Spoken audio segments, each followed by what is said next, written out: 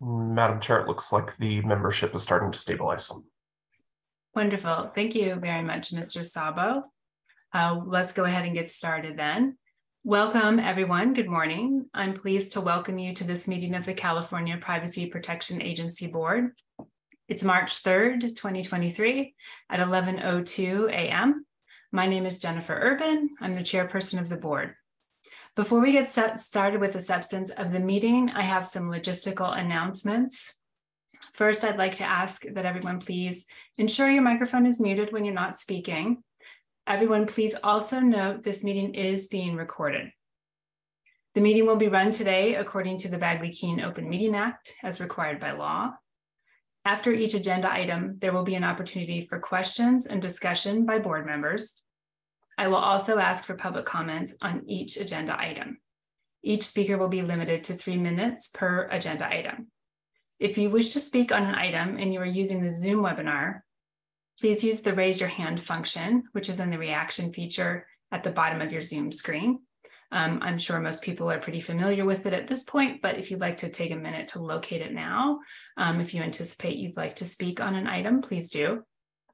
If you wish to speak on an item and you're joining by phone, please press star nine on your phone. That will show the moderator that you are raising your hand. Our moderator will call your name when it is your turn and request that you unmute yourself for comment at that time. Those using the webinar can use the unmute feature and those dialing in by phone can press star six to unmute. When your comment is completed, the moderator will mute you. It is helpful if you identify yourself, but this is voluntary and you can input a pseudonym when you log into the meeting on the webinar. We have a designated time on the agenda for public comment. That's agenda item seven today. The board welcomes public comment on any item on the agenda, and it is our intent to ask for public comment prior to the board voting on any agenda item. If for some reason I forget to ask for public comment on an agenda item and you wish to speak on that item, please use your, the raise your hand function to let us know and the moderator will recognize you. Please be aware again that each speaker will be limited to three minutes per agenda item for public comments. And if you're speaking on an agenda item, both board members and members of the public must contain their comments to that agenda item. Relatedly, I would like to remind everyone of the rules of the road under Bagley-Keene. In addition to sticking to an agenda item for discussion under that agenda item, both board members and the public may discuss agendized items only, with the exception of when the board takes up the agenda item for general public comment that I just mentioned, and um, items not on the agenda can be suggested for discussion at future board meetings when the board takes up our agenda item for that purpose, which is number eight today. We will take breaks as needed. Um, we, if we are continuing to meet at 2 p.m., we'll take a break then um, for about 20 minutes. And I'll also check in to see whether anyone needs an earlier break for lunch um, or shorter breaks. Um, please note that the last agenda item today, or the, excuse me, the ninth agenda item today, the last is adjournment, um, is a closed session item. Um, assuming that we remain um, taking the items in order, um, we will leave and then just come back to adjourn so the public can decide whether or not they would like to stay um, uh, uh, through the closed session item. Um, as usual, my many thanks to the board members for their service and everyone who's made this meeting possible. There's a lot of work behind the scenes, um, and there's a team supporting us today. Mr. Philip Laird, our general counsel, he's our meeting counsel today and has a couple of items to present to us. Uh, Mr. Ashkan Soltani, who's here as our executive director and will be giving us an update. Um, I'd also like to especially thank and welcome our moderator, Mr. Kevin Sabo, um, and Mr. Sabo, I'll ask you now to please conduct the roll call. Okay. Uh, Board Member De La Torre.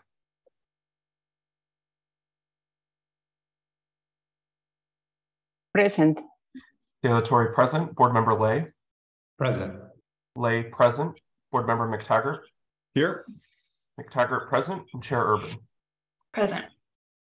Urban present. You have four presents and uh, no absences. Thank you very much, Mr. Sabo. Um, in that case, the board has established a quorum, and I'd like to um, remind board members that we'll take a roll call vote today on any action items. With that, Um, we will move to agenda item number two, if you're following along on the notice agenda and agenda, excuse me, which is an update um, from the chairperson. Um, so again, welcome everybody to the meeting. I have a short set of updates today. Um, first, as usual, I'll situate today's meeting and the board's current work so it's clear what our overall purpose is today.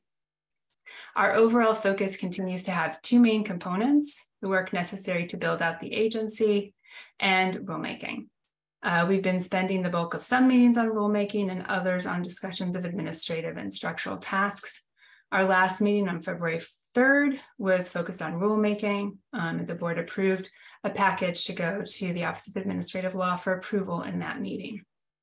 Today's meeting is focused on topics related to administrative matters, specifically the agency's budget and board oversight of that, along with further topics related to building the agency, organizing, and regularizing um, our processes. Uh, accordingly, today's meeting follows from our meeting on December 16th, 2022, in which we discussed board oversight and input into the yearly state budget process and staff's recommended framework and schedule for regular updates and consideration of, of budget and legislation. Um, today, we'll be implementing the budget oversight framework the board adopted in December with the discussion of the agency's current budget change proposal. That will be under agenda item number four. We will also be continuing our discussions of frameworks and processes for organizing the board's work with two agenda items. The first is a discussion of our practices with regards to subcommittees and staff's recommendations for organizing this under agenda item number five. The second is a discussion of staff's recommendation for a framework and schedule for identifying priorities and topics for rulemaking, somewhat analogous to the framework for legislation we discussed in December, and that's agenda item number six. So we're working our way through, continue working our way through discussions of some of the big ticket items the board and the agency work on to allow us to regularize those, create expectations um, for planning, um, and to be able hopefully to have um, a, a, regularized calendar, which will obviously be supplemented um, as needed um, so that we have, though, a good sense of timing and methods for board input and oversight. Uh, my hope is that we will be able to create that sort of basic calendar for regular meeting topics on budget legislation, rulemaking, and that kind of thing matched up to relevant state calendars so the staff can plan for our input and provide the information we need in good time and so we can plan as well um, as I mentioned, of course, we'll always have agenda items that come up organically. And there may be times we need to accelerate our plan schedule because something comes up. Um, but hopefully we can get a basic framework in place um, and, um, and have a sort of a good structure moving forward. Um, and then as mentioned today, we have general um, items that we often have for general public comment and future agenda items. And finally, at the end of the agenda, as I mentioned earlier, the board will go into closed session to discuss aspects of the executive director's annual review. Um, I have three additional updates. First, on the strategic planning process, um, I feel as though you may think I'm just being continue to be optimistic, but I do believe the procurement process is nearly complete. Um, and we will begin that, um, we'll be able to begin our strategic planning um, as soon as the vendor's in place. And as ever, my thanks to uh, Ms. Von Chitambira, who's our Deputy Director of Administration, who's overseeing procurement. Second, and somewhat related to the strategic planning, we don't yet have a second gubernatorial appointee for our fifth board position. I'm hoping we will have one soon. Uh, of course, it would be great to have a new board member in place for that strategic planning process. Um, third, uh, Congress continues to consider the federal ADPPA, the Data Protection and Privacy Act. Um, the board has been very clear on the agency's position. We strongly support privacy protections for all Americans, but we cannot support a bill that does this at the expense of Californians. My thanks again to the board for its rapid consideration of the issue in July of last year and its clear direction to staff on the agency's position and my many thanks to the staff for their careful and tireless work on the agency's behalf to protect Californians' privacy on this. The reason I'm mentioning it today um, is because I'm delighted to highlight a joint letter signed by our agency, the governor's office, and the office of the attorney general that went to this week to Congress on this issue. This is a strong statement for Californians, made stronger, I think, by um, being a um, joint statement um, speaking with one voice. I'm grateful to the governor's office and the office of the attorney general for standing with the agency on this on behalf of Californians. I'm very grateful to Ms. Maureen Mahoney, our Deputy Director for Policy, Mr. Soltani, and others on the staff. This is the part where the tireless comes in, as coordinating agency voices rightly requires um, a lot of work behind the scenes um, so that everyone is following their processes properly, but it, you know, it does take a lot of work and time. So um, many thanks um, from me, and I expect all of us on the board. Um, I'm also pleased to note that the agency received in return a letter from Representative Eshoo's office um, thanking us um, for our efforts and pledging to continue fighting for Californians' privacy. Um, so these efforts are really greatly appreciated. For those who are interested, I believe the letter will be up on our website soon. And uh, generally, just thank you. And uh, I know we all encourage Congress to provide strong privacy protections for Americans um, and not to undermine Californians' protections in the process. Uh, with that, I will uh, offer my um, usual um, offer to please sign up for our mailing list. If you're interested in our work, you can look at our join our mailing list page on cppa.ca.gov um, and ask if there are any questions or comments from the board members.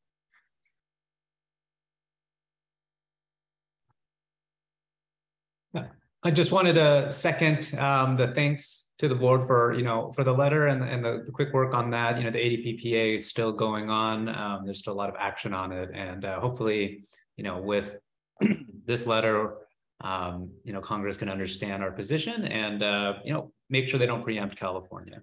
So thanks for the work on that. Thank you, Mr. Le. Anything else?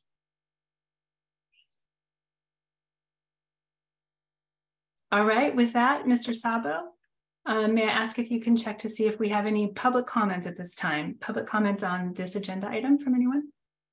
Yes, we're on agenda item two, chairperson's update. If you'd like to make a comment, please raise your hand using Zoom's raised hand feature or by pressing star nine on your phone if you're joining by phone today. Again, this is for agenda item number two, chairperson's update. If you'd like to make a comment, please raise your hand using Zoom's raised hand feature or by pressing star nine on your phone.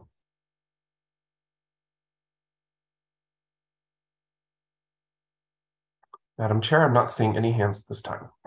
Great, thank you, Mr. Sabo. Um, I'll do one final scan to see if any board members have a comment.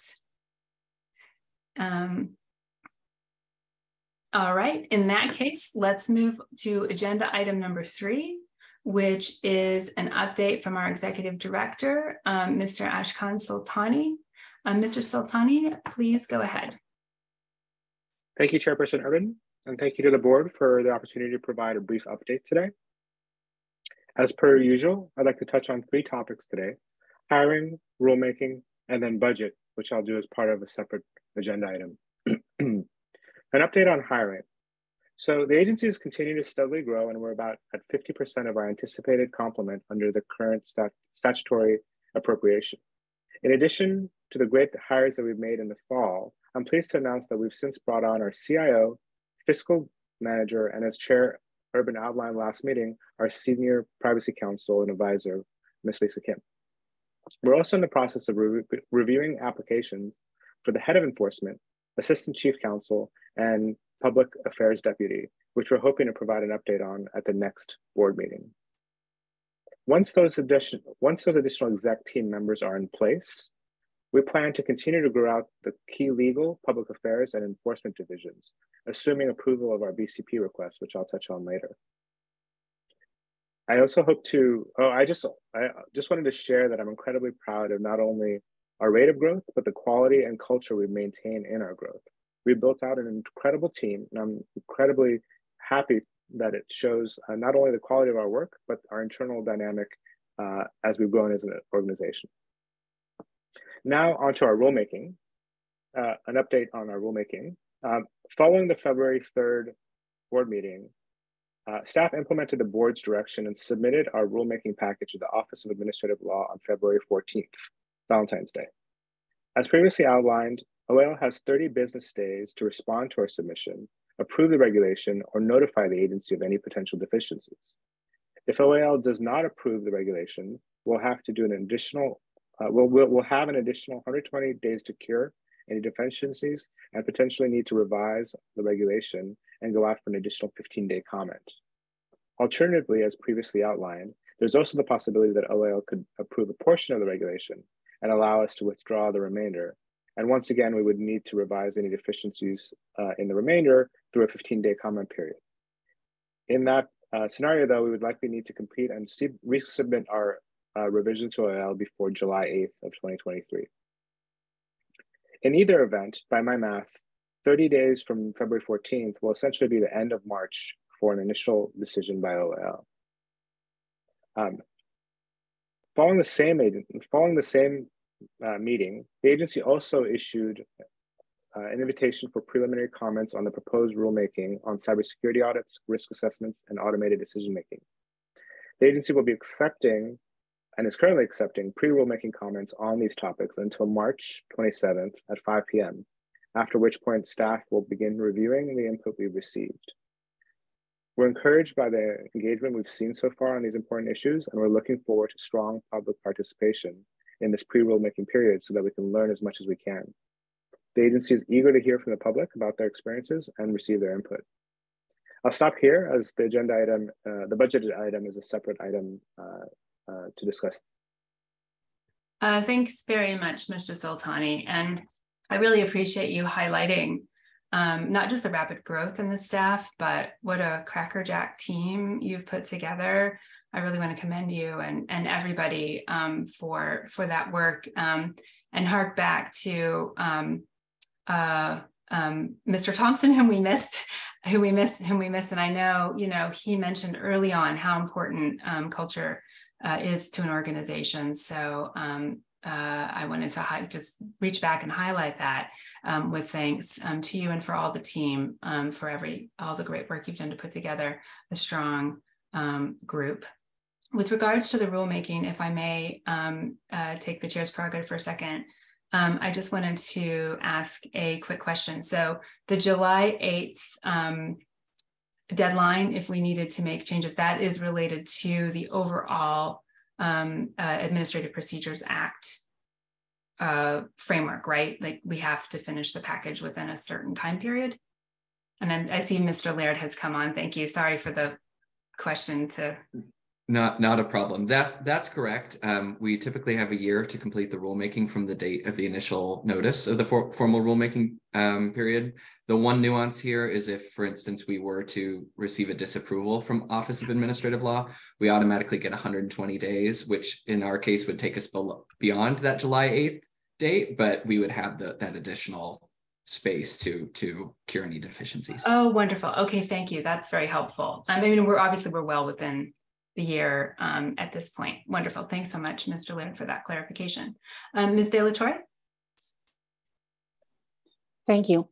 I was just wondering if there is a um, process for the director to report to the board in terms of um, our diversity and inclusion efforts. That's something that we highlighted as important um, as a group. And I know that, you know, there's statistics and ways to do this that are respective of the privacy of our staff, but I would very much like to have a little bit more granular understanding of where we are on that. Thank you, Ms. De La Torre. Absolutely correct. This is something that has been important to the board. Mr. Soltani, is that something you need to look into? Something you can let us know? Uh, I'm happy to look into it and um, figure out the appropriate way uh, to report out those figures.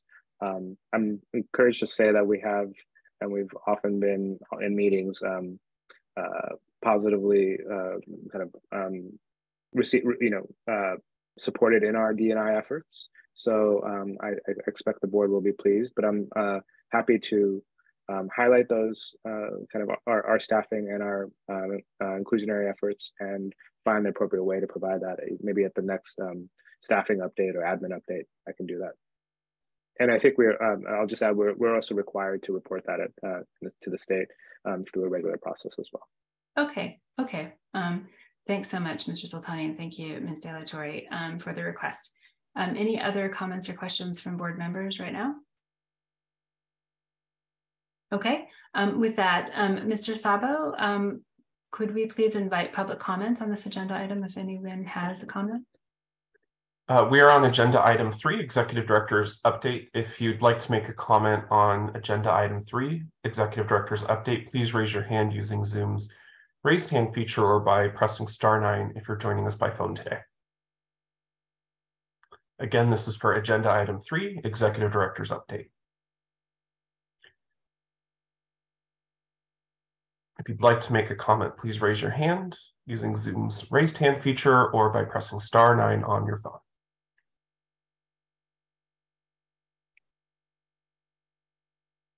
Madam Chair, I'm not seeing any hands at this time. Thank you very much, Mr. Sabo. Um, then I will do a final scan to see if something occurred to any of our board members. And seeing no hands, um, let's move to agenda item four for those following on the notice and agenda. This is um, number four, budget update and priorities for spring 2023. Mr. Soltani will be presenting this budget update as part of the process and schedule we adopted in our December 2000 to 2022 um, meeting, um, as I mentioned a bit earlier. If members of the public would wish to see what is discussed, um, I would refer you please to the materials for um, that meeting, um, December 16th, 2022. There's a memo that goes with um, the relevant agenda item, which I think is number five, if you want to see more about the overall process. Um, okay, so the governor has released the state budget for fiscal year 2023 2024. So we have for our review the current budget change proposal, um, commonly referred to as a BCP, for fiscal year 2022 20, 2023, excuse me, 2024. Um, and we are now at the point in the schedule. Um, and here I'm just going to paraphrase from the staff's memo in December where staff briefs the board on the details of any approved um, BCP uh, that appears in the governor's January 10 budget. And board members um, will ask questions about um, the BCP and provide any additional direction that we might have on budget purport priorities to inform the executive director and staff's work um, during spring legislative engagements and the May revise. And I think um, our executive director is going to give us a little background on the process um, at this point from the state side. Um, I will note the memo estimates that this happens in January, February, so it's March 3rd, we're three days later, but we're well within the budget schedule um, to provide us an opportunity to give input within the budget schedule, which is the most salient thing. So with that, I'd like to ask everybody um, to turn your attention to the materials for agenda item number four today. That's where you, you will find the BCP um, in case you'd like to refer to it. And Mr. Soltani, I will turn it over to you. Thank you, Chair Urban, and thank you to the board for the opportunity to discuss the agency's budget today. So quick touch on processes, uh, Chair, Chairperson Urban also um, highlighted. Um, at the December meeting, the board adopted the process for the board to hear regular updates about the agency's budget and provide timely direction to staff on budget requests and priorities. The process was designed to ensure that the board stays informed about the agency's budget expenditures and forecasts to enable all board members to have meaningful input into the budget change proposals and to enable staff to respond to fast moving budget negotiations in a timely and effective manner. In this process, we outlined key points in the year for the board to provide input. Specifically, we recommended that sometime each summer, the agency present to the board a plan describing our recommended fiscal priorities and budget goals, which then staff will prepare and submit to the Department of Finance in the fall in the form of a budget change proposal, requesting additional positions and spending authority reflecting the priorities laid out by the board. After the budget proposal is published, staff will present the details of any negotiated BCP to the board so the board may ask questions and direct any changes for the spring legislative engagement, engagements and may revise.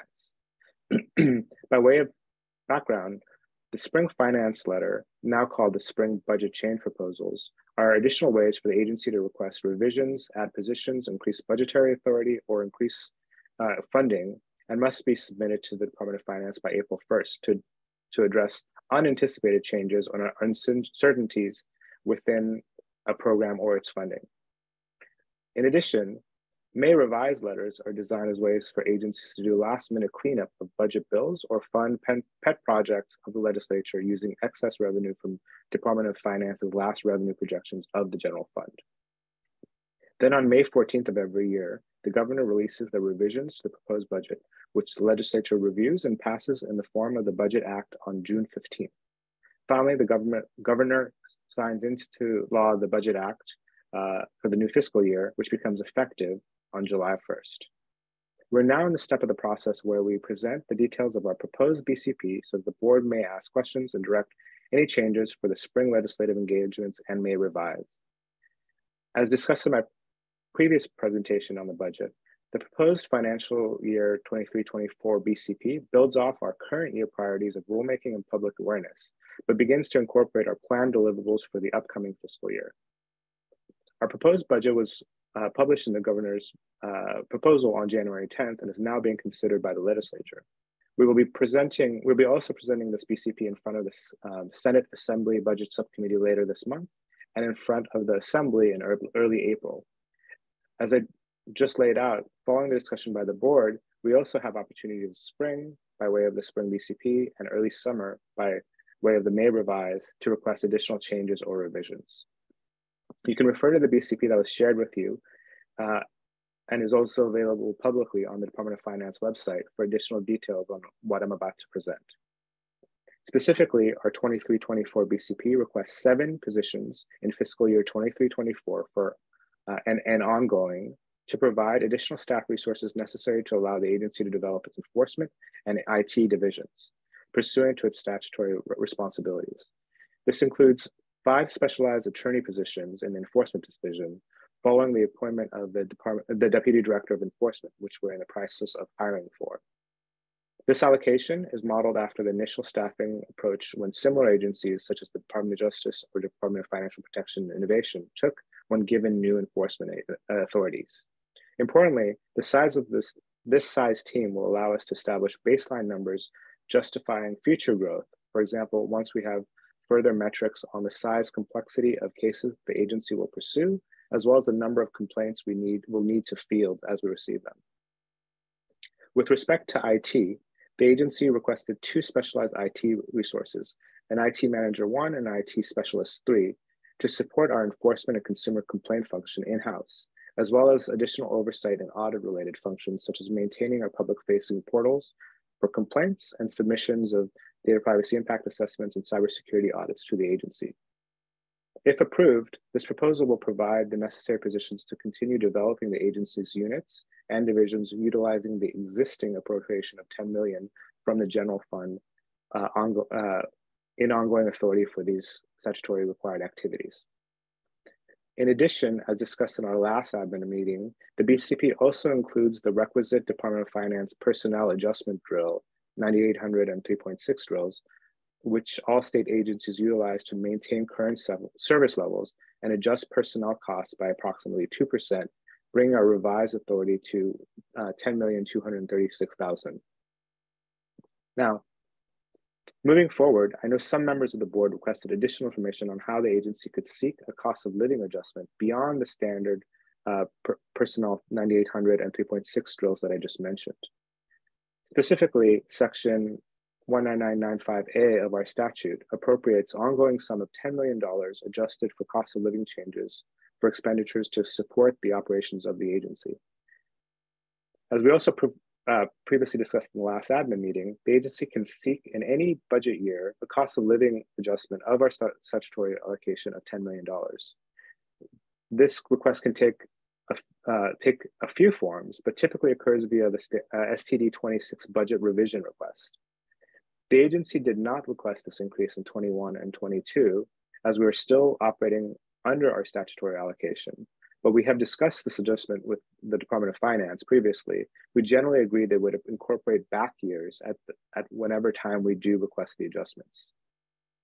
Should the board opt to request the cost of living adjustment this year, we would be able to request a 4.2% increase for budget year 21-22 and a 7.3% increase for 22-23 based on the Department of Labor, sorry, the California Department of Industrial Relations Urban Consumer Con uh, price index for California, which represents the cost of living figures that the state typically relies on for these calculations. If directed by the uh, board to pursue the COLA adjustment this year, the subsequent and, and subsequently, if it is approved by the Department of Finance, the adjustment would increase our statutory allocation from 10 million to, to 11.181 million uh, uh, ongoing. However, as the appropriations as, a, as the appropriation doesn't inherently grant us spending authority, we would likely recommend that along with this revision, we request approval from the Department of Finance of seven additional positions to further develop in our enforcement and audit functions, including an assistant chief counsel in enforcement, as well as three investigator auditor positions and three supporting management staff for coordinating our enforcement functions and complaint system. Finally, in addition to the requested positions, staff will likely recommend a small revision to our administrative process, which would allow us to more efficiently undertake enforcement activities. Specifically, we'd like to request a statutory clarification that would ensure that enforcement and division attorneys are able to represent the agency in administrative proceedings, as currently the law would require us to return, retain the Attorney General's office for representation unless granted a waiver. So that's my overview of our proposed BCP and budget plan. Again, uh, you have the specifics in the form of the uh, published BCP change uh, which is also available on the Department of Finance's website. I'll stop here and I'd be happy to answer any questions about the budget process, BCP or COLA adjustment. Thank you so much, Mr. Soltani. Can I ask a quick process question? Um, uh, if the board were to, um, actually, you know what, I'll hold it and just let's have a more general discussion first. It's kind of a technical question. Um, all right, um, comments, question. First of all, thank you very much, Mr. Soltani, for that careful and detailed overview, which I, I find very use, useful in, in sort of untangling um, what is happening with the budget process at the state level and all the many different um, acronyms and indeed many different BCPs. so it seems we have the Jan BCP and the Spring BCP. Um, so so this is this is this is really helpful. Um, thank you. Um, comments, questions from other board members please use to raise your hand. Thank you. Uh, Mr. Mactaggart um, and then Mr. Le. Thanks. um, you know, I, I, brought this up before, and I, I'm I'm perhaps someone, maybe Mr. Soltani or, or, or the Mr. Laird could educate me. I'm still stuck on this whole notion of request because you know the statute couldn't be any clearer than it is. There's no requesting part. It is the statute literally says there is hereby appropriated this money. There's no review part of it. There's no if the governor approves, there's no if there's money in the budget. And it doesn't say, you know, oh, if we ask for cost of living changes, it literally says adjusted for, for COLA. And there's no, there's no wiggle room. I mean, 9.4 million Californians voted for this. And so uh, I, am just struck as a as a board. How can we we can't do anything other? It would be negligence not to demand the whole thing. And I'm still just kind of perplexed how we're even this notion of oh well if the appropriations gives it to us. There's no question they have to. This is the law. And can you imagine if the teachers if if you know with the what was it Prop 98? I mean they get whatever 40 percent of the of the budget. Period. Um, so I, I'm maybe could you guys educate me this? Because again we went through this last fall. I, I, you know i kind of went along. I was new. But but as i look at this 10 million dollar number you know and i and when i think about the oh well maybe we don't have enough of course we can spend it because one of our responsibilities uh, as as the statute says is to promote public awareness and understandings of the law. And so we could and should be saying, well, if we don't have enough personnel, we can spend this on public awareness. And and my one point there, which I'm going to kind of um, lead two points into one, is just uh, if we get to that, the California Broadcasters Association is does up has a program to do PSAs for government agencies, and they there's not a third party buyer that marks it up, and there I mean a ton of government agencies do it. The Department of the solid waste management, the emergency services, the you know Caltrans, the Department of Managed Healthcare, all these agencies, and I can send a list. Um, use this PSA to spend money to get public awareness and to educate people. So just kind of in a nutshell, if you could explain to me how we can't, how there's any possibility of not getting our maximum dollar, why we're even asking whether or not we would ask, we don't have any right not to ask for it. And they don't have any right not to give it to us. So can we just, I guess, uh, uh, I'll pause there.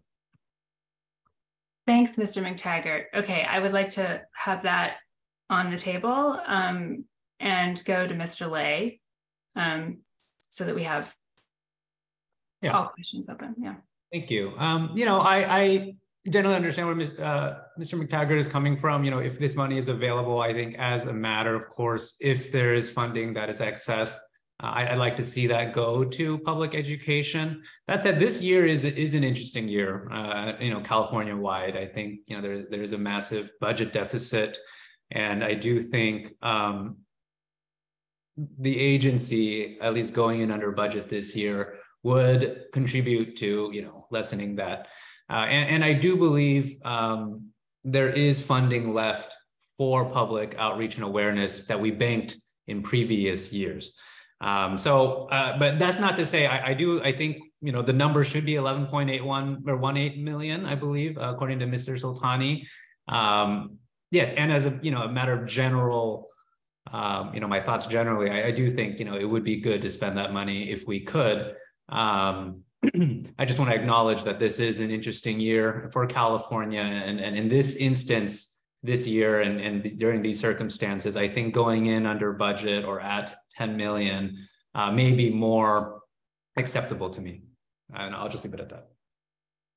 Thanks so much, Mr. Le. Uh, Ms. De La Torre, did you, um, I'm not pushing you, I just wanted to be sure you had a moment to say something if you'd like. Uh, I was waiting because I, you know, I'm listening to everybody who's sharing. Um, but before we move on to a different topic, I will have an opportunity to um, share my thoughts as well. Okay, thank you, Ms. De La Torre. Um, in that case, um, I have a couple of thoughts on this. Mr. Mactaggart, would you like to expand before?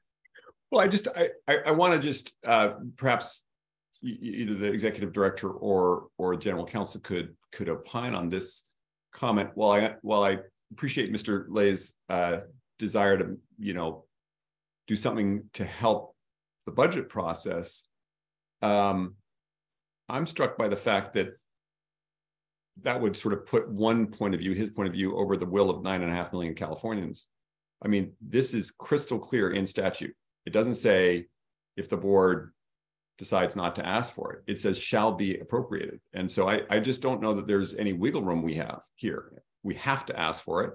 And frankly, if we don't get it, we have to sue them, which we're going to get it because it's in the law. I mean, it would be breaking the law not to give it to us. So I just would like to have an understanding of, of, of that because it's this is you know uh, to me it's just right there plain text so thanks thank you mr mactaggart um, so um, i have a couple of thoughts on a couple of the threads that have come up in the board members comments so far uh, first, um, in response to Mr. Le, uh, for my part, in terms of spending priorities, um, and also Mr. Mactaggart, I fully support um, um, uh, some attention to public awareness, considered attention to public awareness. Um, I thank Mr. Le for highlighting the encumbered contract that I think um, the Public Awareness Subcommittee um, and um, executive staff worked on, because I think that is a really good um, vehicle for making sure that we have some resources set aside to, to work on those important topics. So I'd like to highlight that. Um, with regards to um, our um, money appropriated in the statute, my understanding, Mr. Mactaggart, has sort of three components. Um, first of all, um, absolutely, um, under the statute 1798.199.95A, uh, $10 million plus cost of living is appropriated to us each year. The statute also says that the expenditure of funds under the appropriation shall be subject to the normal administrative review. And here is where, so, so there's, we have the appropriation, we have normal administrative review. And as I understand it, and I could be wrong, and I definitely um, will ask Mr. Laird and Mr. Soltani to um, to help continue to illuminate this is that that is both um, that is both in the statute that there will be that review, but also there is a sort of a functional, practical way that that administrative review affects how funds actually are allocated. Um, so we don't have, and the state doesn't really have a way to give us $10 million. Um, uh, we have the process by which we explain our budget and justify it and the money is allocated for those purposes as we spend it. It's like we spend it and we have authorization to spend it. I think that's how it works. So it's sort of a combination of the normal administrative review which we must um, follow um, and how the money kind of moves around um, in the state from the general fund. I could I could still be getting it wrong, but that's how I see it sort of structurally working. Um, uh, just to um, it's not that you know that, that, anyway that's how i see it's actually working. So um, mr soltani and mr laird um, i'd like to invite you to um, respond please. Thank you sure thing i'll, I'll start and then um, phil if you want to uh, follow up as well so first off I appreciate the input from the board and uh, especially around the public awareness efforts um, as mr le mentioned we do have funds encumbered for uh, media buys. We did that last year, and we uh, actually used some of those funds in advance of our um, uh, hearings for rulemaking to solicit broad awareness of our agency and solicit public comment on the rulemaking. And I think that helped contribute to the robust feedback we received as part of the rulemaking uh, hearings um, during the first package. Um, we do expect to continue to um, utilize and focus on public awareness, including expenditure of funds. Um, we've had, as you know, some challenges bringing on our public affairs and building that team. And so we expect to potentially contract for additional resources to help us develop the materials uh, and the and the you know um, the PSAs as Mr. Mactaggart describes and the kind of the content to help promote um, since we don't have that expertise of say videographers and and um, content creators in house. Um, so that is going to be a fu function moving forward, including um, this fiscal year. Um, with regards to the kind of how the uh, appropriation. Uh, Ms. Ch Ms. Urban is right. Is that it are you know there's there's two pieces, which is, is, is our appropriation and then our spending authority. And our spending authority essentially goes through the state process, either by the creation of personnel count, which is what I highlighted in my recommendation, or you know by procurement, the standard procurement process. So if we wanted were to solicit uh, public awareness um, contract for uh, perhaps someone uh, like of the sort that Mr. Mactaggart referenced, we have to go through the state process. We have to go through the, the procurement process as we are doing for the strategic planning process. Uh, and that involves uh, coordination with the Department of Finance and the Department of General Services. Um, so, uh, so, so uh, with regards to our appropriation, um, indeed, uh, and, and uh, our statute indicates that that appropriation can be adjusted or, or is adjusted for cost of living. but the process by which that happens is what we're talking about. It doesn't, the number doesn't magically, dynamically um, kind of change every time you reload the page on the, the you know, Secretary of State website. We have to go through and um, uh, request that revision. And I outlined one process, which I understand that standard 26 is what the form is called to request that the Department of Finance revise that. And they need that needs to go through a review and justification process, which we will cite the statute as that justification and request it. And I um, defer to Phil as to uh, Mr. Laird as to um, the likelihood, but it is in statute as Mr. Mactaggart highlighted, and we can do that. And I've also said that Department of Finance, we previous to this conversation, even in December, we've already spoken with the um, Department of Finance with regards to that um, adjustment, and they have indicated that at which point we need the expenditures, uh, or at which point we would like the expenditures, we can request it, and they will accommodate back years. So I don't think it's a it's an issue of um, that we will get it. It's an issue of essentially when and why. And I think um, to Mr. Le's point, we were um, maintaining our, uh, our our priorities under our existing allocation we can certainly request that our allocation be expanded or our appropriation, sorry, is the right is the right term, be expanded even today. and We can begin that process, but there is a review process. And then in addition, there's a review process on the actual expenditures. Um, Mr. Laird, do you want to correct me if I got any of that wrong or, or add, add on to that? Um, uh, yeah, I, I, actually, I was thinking about it. I don't know if I have much more to add. I think that's pretty much correct. Um, you know, I think to uh, Mr. Mactaggart's point, I think our law does lay out a clear appropriation that uh, adds in sort of that COLA adjustment. And so, um, but to the point of how we balance uh, the appropriation that ends up in our budget worth, you know, with the expenditures that we we're requesting through the BCP process or other processes processes you've described. Um, you know, I, I, understand there there can be a calculation there, but um, no, I, I, at this point I can't say I've, I have anything more to add, but happy to answer questions if there are some. Thank you, Mr. Laird. So as I understand it, um, I would like to just highlight for the group and circle back to Mr. Uh, part of Mr. Le's point, which I understood to be um, a board member um, discussion of um, priorities and um, things to take into account. And so Mr. Le and Mr. Mactaggart both mentioned public awareness as a priority. Mr. Le, as I understand it, and please correct me if I'm wrong, you mentioned the current um, challenging state budget environment as part of the information um, that the board might want to take into account in terms of uh, if we were to kick off this process this year or how much we would um, much we would this year that because those kinds of considerations of course also um, are relevant to, um, to, to, to what we ask staff to do with regards to process. It's not a question again of whether the money will be available for us um, when we spend it, when we need to spend it. It's a question of what's the timing and sort of what's the process. Um, um, and I just want to check with Mr. Le to see if I mangled too much um, what he meant to convey and then go to Ms. De La Torre. Yeah, and I think that's right. Uh, you know, I, I, think Mr. Mactaggart has a great point. You know, if the agency has the funds available, we should try our best to use it in, in accordance with, um, you know, what, what was passed by the voters. Um, and, and I think going forward, you know, that makes sense. And I think the reason why I'm not as opposed to not taking the full allocation this year is one, that the money is available if we need it. Two, there is there is funding available quite a bit for public outreach and awareness. You know, I think I'm just waiting for the person to be hired so we can begin to use that.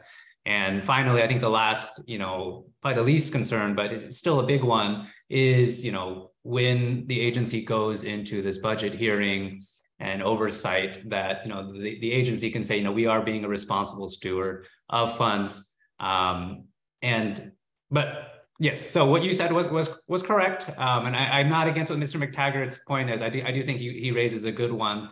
Uh, and I'm just a little bit relieved that you know if the money is if we do need the money, it will be available as we are not hamstringing ourselves in the future by this year not taking the full amount.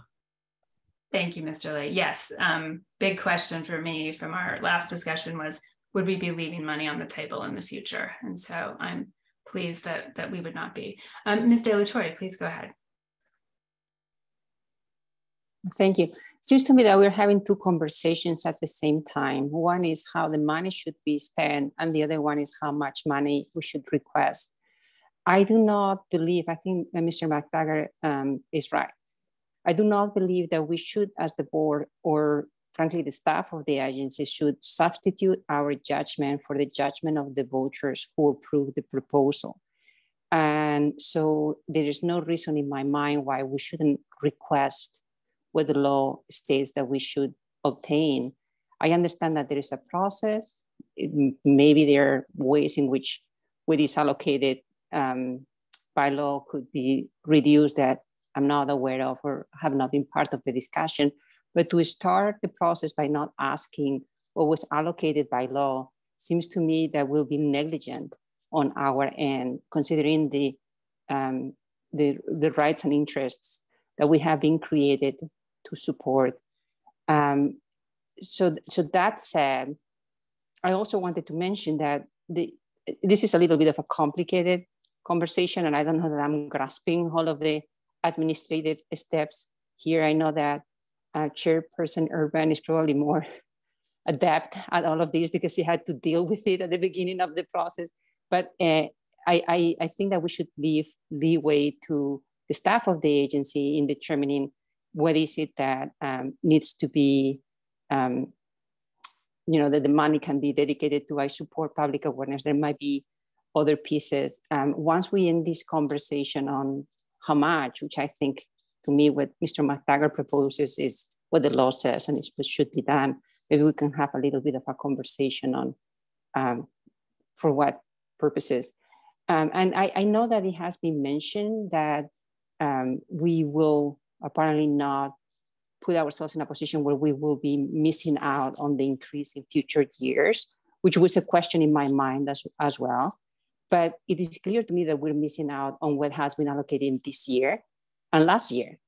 And nobody's going to return that um, budget to us. So it just, again, seems to me that what the law says is what should be requested by the agency. And I um, understand that there are processes to correct the current um, proposal to uh, adjust it so that we can do so, which which I will support. Thank you, Ms. De La Torre. Mr. Mactaggart.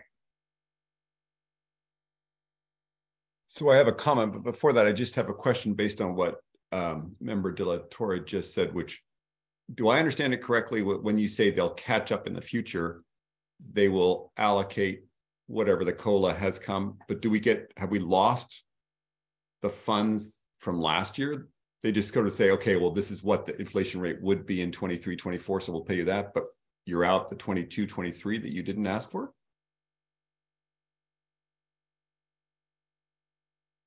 We, we didn't get into that level of specificity since we didn't articulate what the request would be, but we can we can certainly identify that. My understanding of general uh, and why it was so important that we, for example, undertake the public awareness um, contract last year uh, with the help of Mr. Le and Mr. Thompson was that any fund, so funds that are not spent by the agency return back to the general fund. There's no kind of piggy bank that we store and maintain funds, um, with one exception, which we had a kind of a um, an initial setup of the agency. We had a special fund um, that we still have some um, small amounts of, of um, uh, allocation in or appropriation in. But generally, um, I don't on um, I and I and again I'm happy to go and check and then report back on this question uh, after both consulting with finance as well as what we've done is you know consult with other agencies to see how this is done typically. Um, but for the 21-22 year, uh, for the 3.7 per, uh, you know percent adjustment in that year, which would roughly be $370,000. I don't know if we can request the back year of those funds. I think what we can do is request the adjustment that incorporates that the, the moment the adjustment is made, it incorporates, you know, the 3.7 and the 7.3, or I'm sorry, I might be butchering those numbers. I have to look back to my, my notes, but essentially the compound of those two. Does well, that make sense? It, it does. It, it, it, to me is very worrying. Um, again, when I, and I remember writing this paragraph to be as clear as possible because I did not want the legislature to be able to play games with the agency funding, knowing how powerful tech is and knowing how much you know influence business does have over the legislative process. I wanted to make it crystal clear that no matter who was in power, no matter how they felt about privacy, this agency was going to get funded no matter what. And now I, I feel like we may have given up hundreds of thousands of dollars that we may never get back. And I feel like we're kind of being I mean, to use Member De La Torre's word, we're, we're playing with negligence here about not getting the maximum that we are entitled to by law. And you know, if you want to talk about stewardship, our stewardship is we are a tiny little agency facing the most powerful industry that the world has ever seen in terms of money and influence and reach. And uh, you know, there are more uh, resources on the other side, and not that it's an antagonistic relationship, but we certainly need to put rules of the road in place. We need to have some eventual enforcement. And right now, there's an unlimited demand. If you could talk to the average Californian to say, what's the CPPA? They'll look at you and just kind of shake their head. So it doesn't take, you know, months and months to get an ad out, uh, to put it on the radio. Uh, Ashkan, you could, uh, Mr. Soltani, you, you could record it yourself and, and put it on the radio and sort of say, hey, if you have a question, come to our website. So I just feel like this is sort of a fire here. I want to make sure that we get the maximum dollars. I'd, I, I think we should absolutely try to go back to to the extent that we for, for we, we, we missed out on, on, on funding that we were entitled to. We should go back and try to make a strong case for that. Maybe that ship has sailed, but I certainly don't want to see us do this anymore. Thanks, Mr. Mactaggart. I also, I just wanted to point out that before the board had its first meeting with help from staff, I directed several million dollars into an architectural revolving fund, um, which is one of the few ways that you can preserve money. Um, uh, given that we have to spend it to get it. Um, so um, through the through the administrative process and sort of constraints of the way the system works. So we do have our architectural revolving fund um, in place as well. Mr. Um, Soltani, um, I'm assuming that what you want to say is directly responsive. And then Mr. Le, thank you for your patience.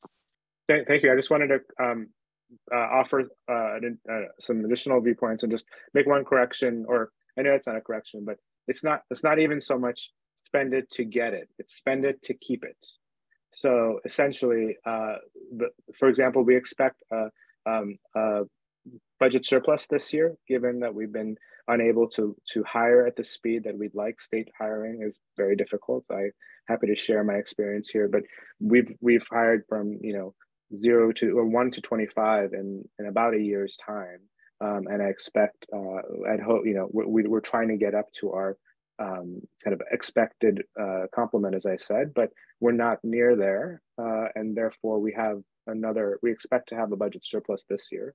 And similar to last year, we would like to potentially um, direct those funds for additional public awareness efforts. In this case, as I said, um, the contracting process for those uh, for those types of services takes roughly about six months um, which we're behind the ball on. But um, last year we were able to um, do a narrowed contract for um, our previous budget surplus to do media buys since it's a more expedited contracting process. And this year I'd like to go through a somewhat longer contracting process to get resources, as I said, to um, uh, focus on the content creation for those those pieces. Uh, Alastair, uh, I appreciate your or Mr. McGregor, I appreciate your confidence in me recording, but you know I think we'd like to make sure that we not only um, provide kind of high quality uh, materials, but also in multiple languages, you know, to represent the diverse uh, people in California. So we'd need translation services and all the full gamut. Um, and so we, I only go down this tangent to indicate that um, for example, were we to uh, have requested the the um, approximate three hundred seventy thousand dollars in um, twenty one twenty two, we would essentially only be able to keep that money uh, in either by uh, um, encumbering it through a co contract for a specific purpose, uh, or through the architectural revolving fund that uh, Chair Urban uh, um, highlighted, which we already have and was created at the creation of the agency. Um, you know, I wish spending were um, quicker and uh, faster, but I admit it's one of the most difficult um, uh, components of the state process, um, particularly because we have a number of control agencies as a small agency, but also as any agency in California to um, to actually spend that those funds. And I think the best use of those funds, uh, future looking, um, as I laid out, would be to start um, uh, requiring uh, requesting personnel authority in future years because we expect the agency to grow and with our key areas of the agency such as um, uh, auditing and and consumer complaints that we want to uh, request personnel authority essentially uh, the ability to hire and pay staff uh, and then use the surplus funds that we expect to have in this budget year for things like public awareness and encumber those um, for approximately two years to complete to the completion of those contracts. Um, so that I just wanted to add, add kind of that perspective. But I but I, I hear the board. Um, I certainly don't want uh, you know if the board's direction is to not leave any money on the table. I I hear I hear you. The challenge is that the money goes off the table unless it's um, spent, and the spending of you know I, we joke and the inside joke with staff is buying the printers. You know it, I would love to be able to walk down to the um, electronic store and purchase a printer, but it takes months and months to go through that process and a lot of staff time, and we're doing it as kind of as quickly as we can. Thank you, Mr. Soltani. And again, I just really want to commend you and staff on how quickly you've managed to hire as many people as you have, because of course our main expense is people. Um, and the main reason that um, we've been under budget is because we're busy trying to add people. Um, uh, and I also appreciate your correction. You're right. It's spend it to keep it more more than anything else um, uh, under the budget process, which you know I it is slow it is just slow and it can be frustrating, particularly as we are trying to grow and fulfill our mission for Californians. It's also, of course, important. These are Cal- this is California's money. It's not our money. Um, and um, all of those processes, as frustrating and slow as they may be, and the fact that I per- certainly share Mr. Mactaggart's frustration that like we couldn't just keep what was left of our $5 million in that first year. Those are all um, important processes to make sure that the money is spent transparently and with proper state oversight. Um, Mr. Le, and then um, Ms. De La Torre, no, sorry, Mr. Mactaggart, and then Ms. De La Torre. Yeah, and um, I just, I have a question and I guess a comment. On, I'll start with the comment first. And yeah, and, and to Ms. De La Torre and Mr. Uh, Mactaggart's points, you know, it is rare that an agency doesn't ask for all the money it's entitled to. I, I don't think, you know, that's very popular in government. Um, I, I think it, it does a disservice to the agency if we had a use for it and we didn't take it. Um, so that, that's why I said, you know, in generally going forward in the future, I, would like to uh, encumber or use all that money if possible. I just want to acknowledge it is a unique situation that the the agency is in, considering how early it is, that it, it's just hard to spend that much money with you know 24 people um, and, and, no office. But beyond that, I think um, you know one consideration is, as far as I know, you know the the 10 million plus the cost of living increase is you know the the minimum we can require we can ask for if we need it. Um, but I thought, and, and, correct me if I'm wrong, um, uh, Mr. Soltani or Mr. Laird, but if the agency wanted to go beyond, uh, beyond that, you know, 11.18 million that we're, you know, maximally entitled to, we could, right?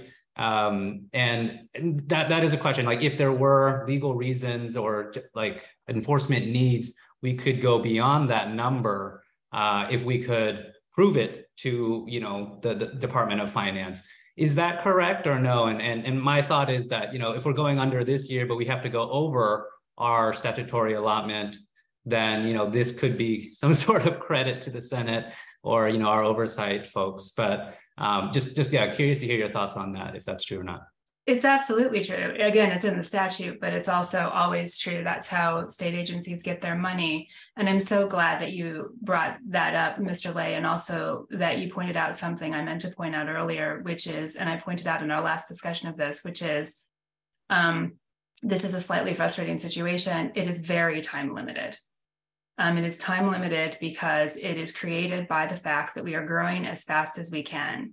Um, and it is not going to be very long at all before we have no trouble um, with how we're going to spend our full appropriation, which means that, you know, the justifications and everything that we need to do will be straightforward to make. Um, and the only question in my mind very soon is going to be when we request more than that statutory allocation because we have a lot of work to do. And we have an incredibly effective staff that's been growing really fast given the constraints. Um, so we are this is a time limited situation. And i just really want to appreciate um, that mr le sort of highlighted that this is unusual um, and also um, mentioned the fact that it's not a ceiling and i mean we have a specific appropriation from the people of California, um, but we also, of course, if needed, um, can request more than that. And then that is more discretionary on the part of the legislature. So thank you. Um, Mr. Soltani, um, did you have anything you wanted to add in terms of um, yeah. Mr. Le's question? Indeed. Um, that's a uh, thank you for Mr. Le for, for asking that question. That's a great question and a great point. I may have not been clear to, to indicate in my kind of in the beginning of my presentation on the budget, which is that the expected um, request, the current BCP of seven staff, five in enforcement, and two IT, um, would put us at the essentially at our $10 million appropriation.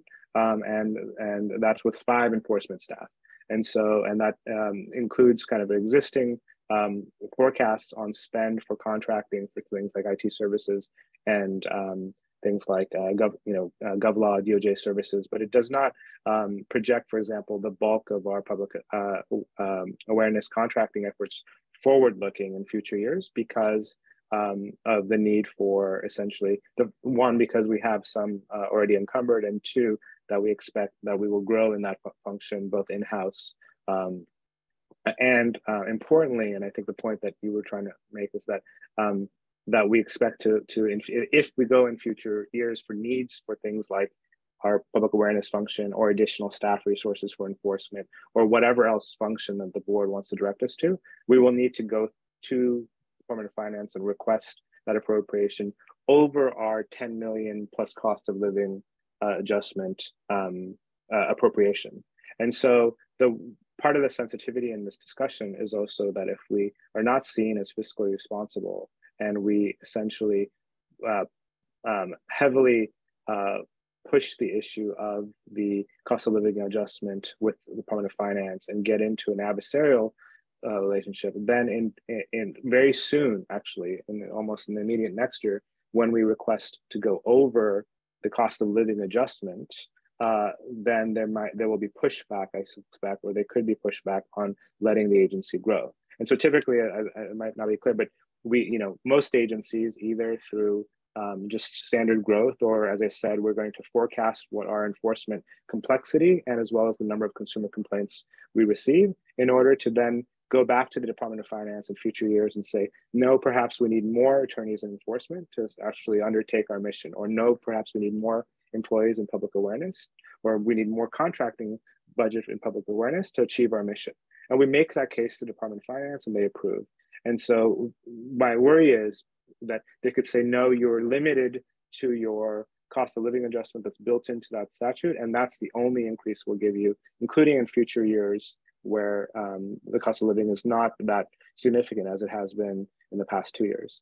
So um, I think that's an important point, which is that we this the this kind of plan is not just about leaving money on the table. Today, when we're small, we are essentially limited in our ability to spend, but also forward-looking in our ability to request further funds from the legislature as we need to fulfill our mission. So um, I hope that that was clear, but that's kind of the what we're, we're thinking about in the back of our heads as well. Thanks so much, Mr. Soltani. And that reminds me of Mr. Mactaggart's point about sort of our earlier budget allocations and my point that we haven't had the people. Um, so, you know, we've been a little limited for a limited point of time.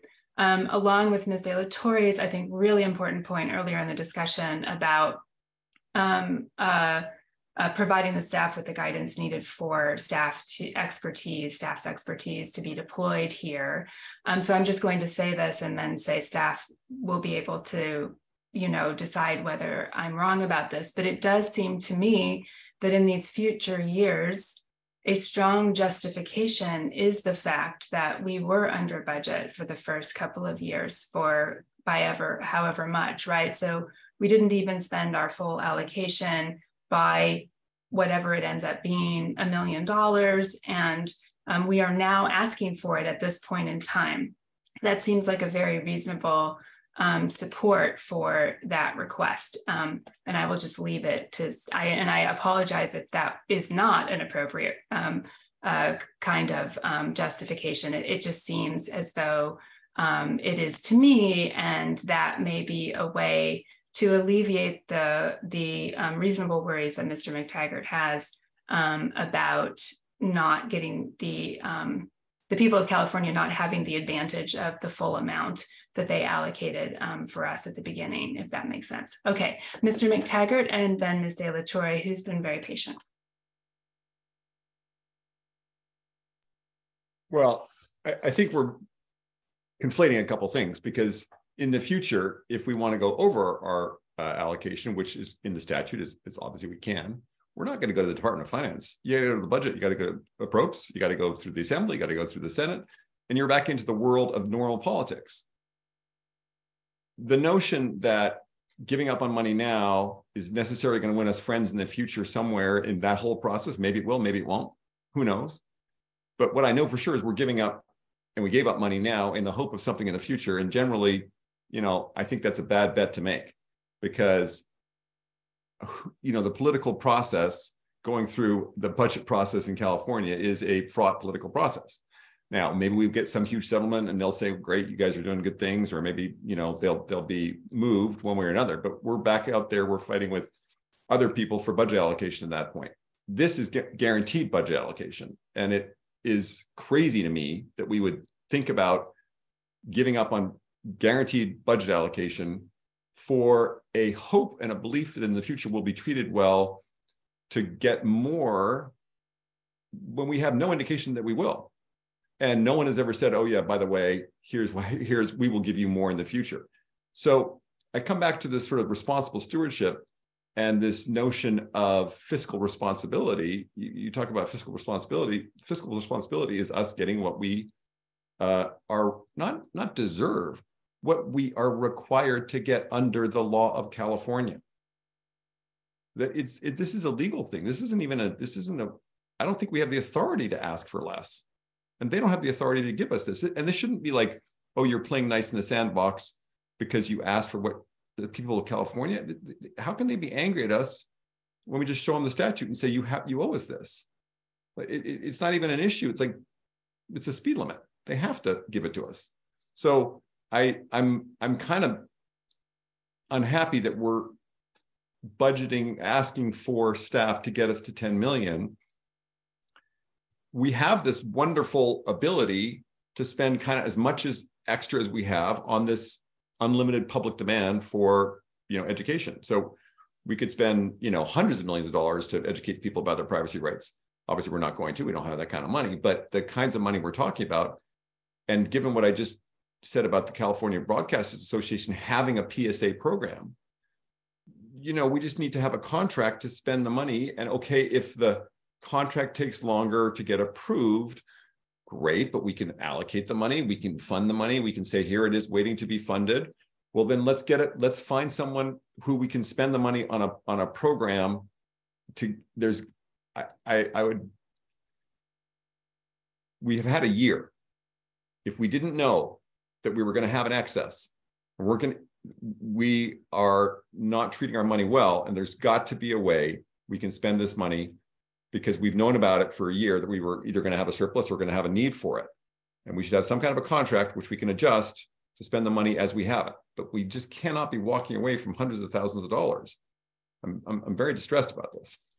Thank you so much, Mr. Mactaggart. So I actually think that we are moving towards um, something that could solidify into helpful direction for the staff. I'd like to ask Ms. De La Torre um, for her comment, and then I will summarize what I think I understand and um, offer my proposal there.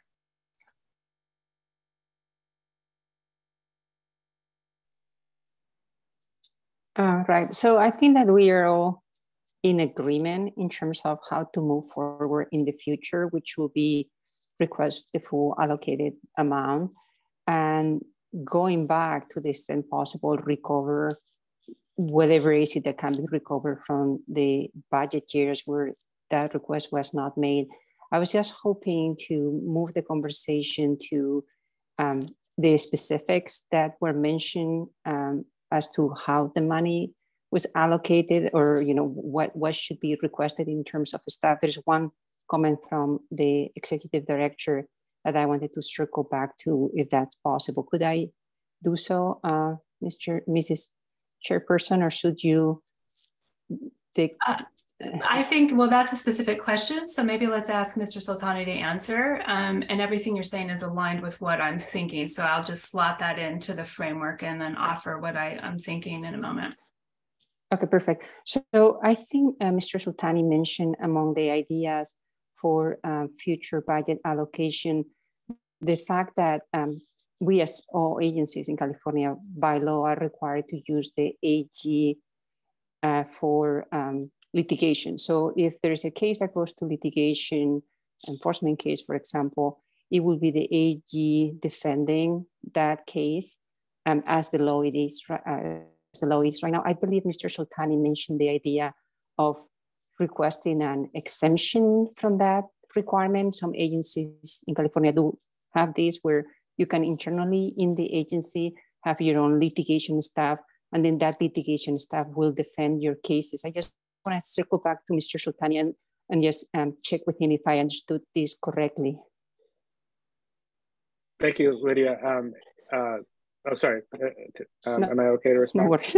yes, please go ahead. Thanks, great, great. I was actually I was just going to tap tap in Mr. Laird because it's it's almost right. So it's a, it's a little bit nuanced. Uh, Phil, would you like to, Mr. Laird, would you like to um, take that question? Yeah, absolutely. Um, uh, to what Mr. Soltani uh, suggested earlier, basically what we have in mind is is more or less actually Ms. De La Torre, what you described, um, is a sort of limited exemption that would allow um, from, from existing law, which is this general premise that the Attorney General's office represents uh, sort of all state departments for not just only uh, judicial proceedings, but also administrative proceedings. Um, knowing that our administrative proceedings um, are going to go through the Office of Administrative Hearings and then end up before this board, we thought that was a practical sort of venue for our own enforcement division to be able to sort of kind of own and control their cases to be able to investigate and then also be the the representing party uh, in those administrative proceedings specifically um, for all other sort of uh, instances, and if, for instance, somebody appeals a decision after the board renders one and we end up in Superior Court or beyond, that is something where we would still then work with the Attorney General's office to be the representatives of our agency. But uh, for our administrative proceedings, there's really a model for that and other plenty of other departments. Um, in fact, the Department of Cannabis Control just got this exact exemption we're talking about, um, specifically for administrative proceedings, so that their attorneys could could um, uh, represent the agency. And, and we really do, uh, as much as there's an efficiency argument for it, we also see this directly related as a cost savings measure um, because uh, you do pay for the attorney general's representation uh, for work that our attorneys we think will be capable of doing. Thank you. Thank you so much. Let me repeat back to make sure that I understood. So what we're saying is that we will have our own team um, dealing with all of the litigation up to the administrative process. But if something goes to court, it will be the AG, right? Is that is that correct? That, that's correct. That's okay. Correct. And I'm glad to hear that, that because separate, I'm sorry. That is separately split in the statute that okay. they have civil authority, we have administrative authority. I think, as I understand it, this is just the question of how our administrative authority is exercised with people from right. the attorney general's office or with our own people. Okay, so I appreciate uh, Mr. Laird providing the clarification. I will not be supportive of switching to, um, you know, request exception so that we could, I mean, I will listen to the arguments, but it seems to me that the AG is very well prepared to defend our cases before court and, and we should take advantage of that. Thank you. Thank you, um, Ms. De La Torre. Um, okay, so um, that is a slight, so that is a, um, a different, um, so, so let me let me offer my sort of framework. Um, that's a detail that um, I hadn't worked in to the framework, and I'm not sure that I agree actually, Ms. De La Torre, but I would have to listen and think about it a little bit. But so as I am listening to the board discussion and I'm putting that together with options um, that we have in the budget process now and um, what we could do to direct the staff. Um, I agree with Ms. De La Torre that there's general agreement on the board um, that we want to be able to use the resources allocated to us by Californians um, on behalf of Californians um, and that we are at a moment in the budget process where um, using the may revise or the standard something or the sorry apologies the spring bcp there are a couple of different options let me keep talking because uh, you'll pick the right one um, that we could revise our request um, so that the request encompasses um, our full statutory appropriation, including cost of living increases for this year. Um, so that is one part.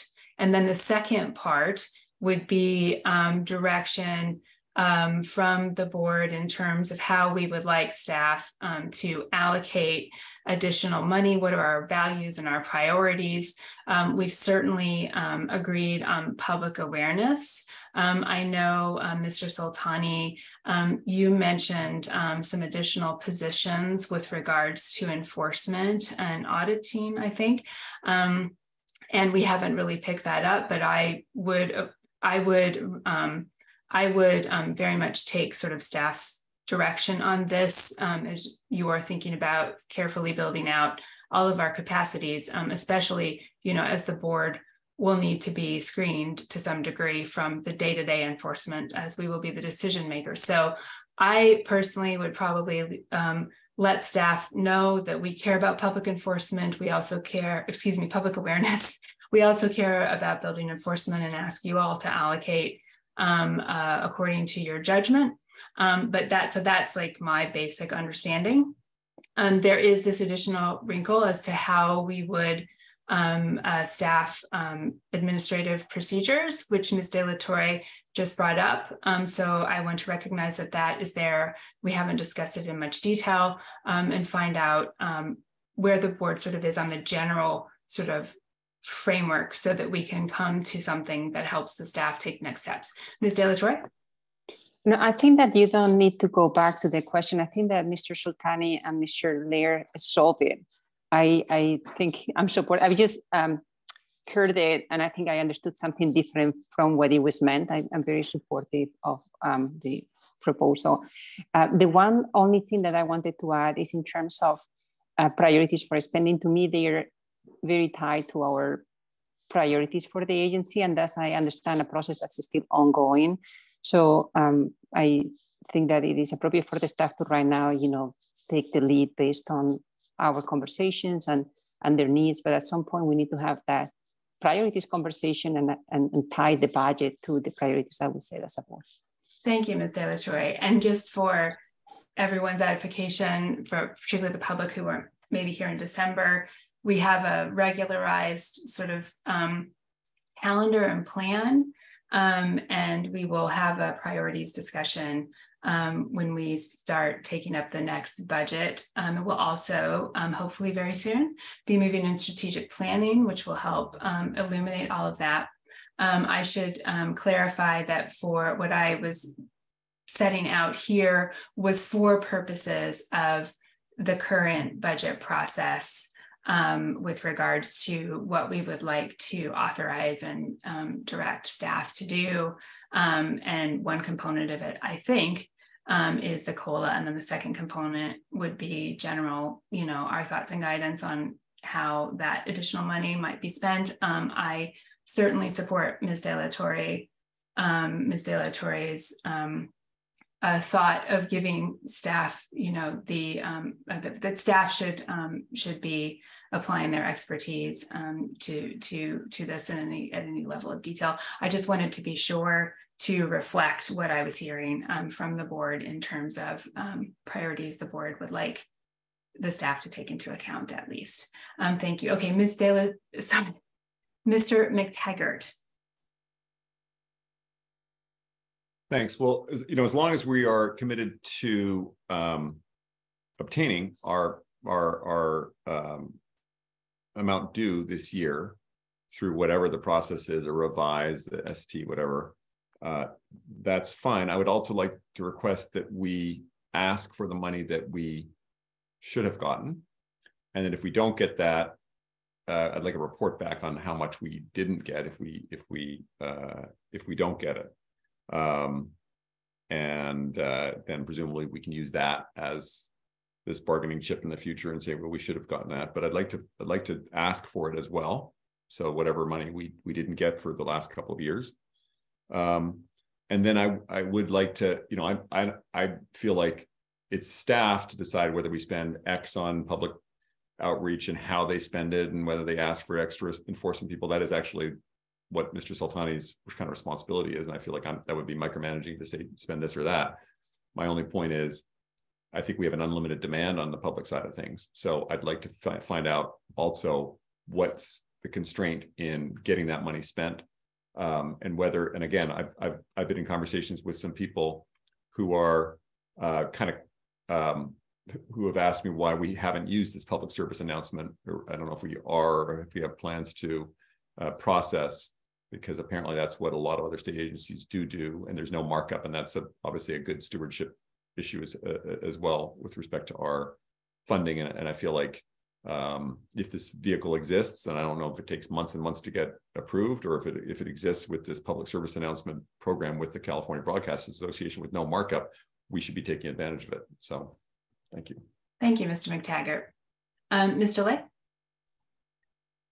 Yeah, um, I, I, had a question. Is I, am curious to how much funding we have encumbered for public, um, you know, these public education, um, and, and I'll note, you know, with the departure of Mr. Thompson, the there's an opening in the public awareness committee, subcommittee um, with with me, and uh, you know I I'm waiting eagerly for the hire for public affairs, and and I will I will take responsibility for um, perhaps there not being very much action on the public awareness while that hire is is happening because uh, you know I haven't really been pushing it with, without Mr. Thompson. Um, so I'll, I'll, just note that, but yeah, if, if we could have um, if, if Mr. Soltani or Mr. Laird know how much we have encumbered already for um, public awareness, that'd be helpful. And, and I'll note for the, the, the campaign that we did do, um, I believe we used uh, some of the methods that Mr. Mactaggart mentioned, where th there was no markup um, for the for the broadcasts.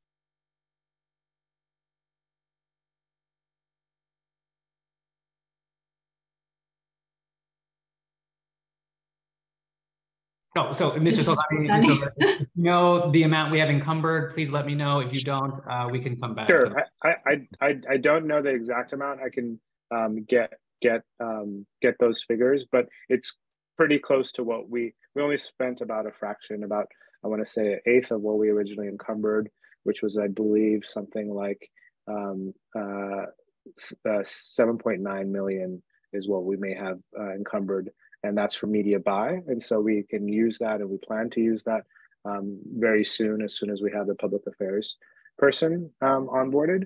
Um, and, uh, and, and really, you know, once we're particularly um, the timing should hopefully work well because once our um, rules are finalized, uh, uh or uh, assuming our rules are finalized, we can also more um, uh, accurately communicate what the rights and responsibility or what the rights and protections Californians have are at, at that point. Um, I can get you those exact numbers if it's helpful.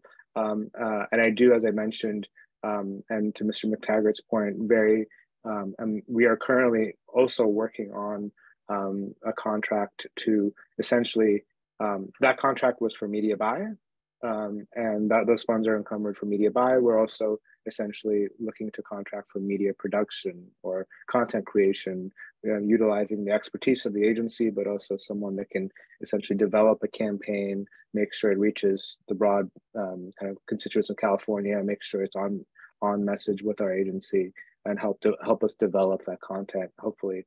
Um, with the board's input. So those two pieces um, uh, are underway. I am happy to, to either report back generally. I think those those figures are well, actually just just uh, yeah, I believe that figure is um, somewhere. Uh, I can report back the exact. I don't want to. I don't want to guess, but it's yeah, around fine. what I what I yeah yeah. Okay. And then, uh, Thanks, Mr. Soltani. Yeah. Mr. Le, does that answer your question? Yeah, I just wanted to get a ballpark, and that's yeah. that's fine with me. Yeah, it's generous amount. Yes. Um, yes. and it's a generous proportion of our overall yearly spend. Um, so I think it's very helpful to know that we have that um, available to us um, for for media buys um, at this moment, and that it is encumbered for us. Um, so let me um, circle back um, around. so I think that we have consensus to request that staff go back and request the full allocation with the COLA um, and um, that the board is generally in agreement that we um, we would ask staff to exercise judgment in terms of how exactly you allocate that. Um, you know broadly what our values are, and they're also set out in the statute, um, and to just come back with that to us if you need to. Um, but I think that is the plan. Now, Mr. Mactaggart also asked about the kind of request to go back um, further, like to the, to the first year, because the second year we have encumbered everything we didn't spend, right? Um, pretty much. So, um, and then in terms of that, um, what I would suggest is um, that staff um, understand that they have direction for sure to explore this um, and possibilities. Um, it just may be a challenge for this budget cycle, but staff should explore it um, and move as uh, aggressively as possible. And then if we can also revisit when we talk about the next fiscal budget. Um, I just want to be sure that we're not asking for something impossible at this time.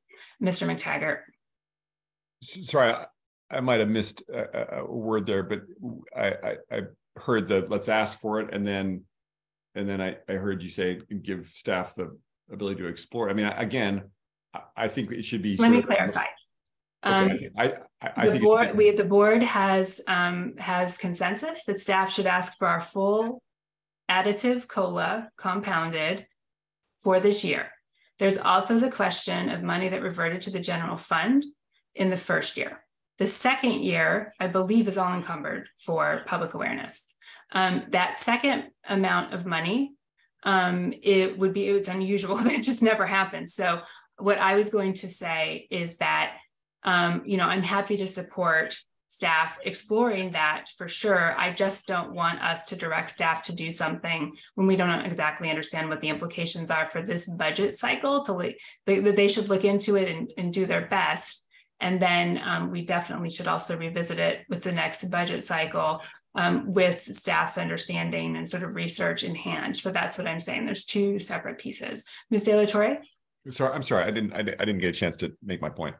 Um, and uh, so as I understand it, you said the first, the second year, and again, I'd like to know if that was, if we asked for the amount or if we, we, we, we didn't get our maximum.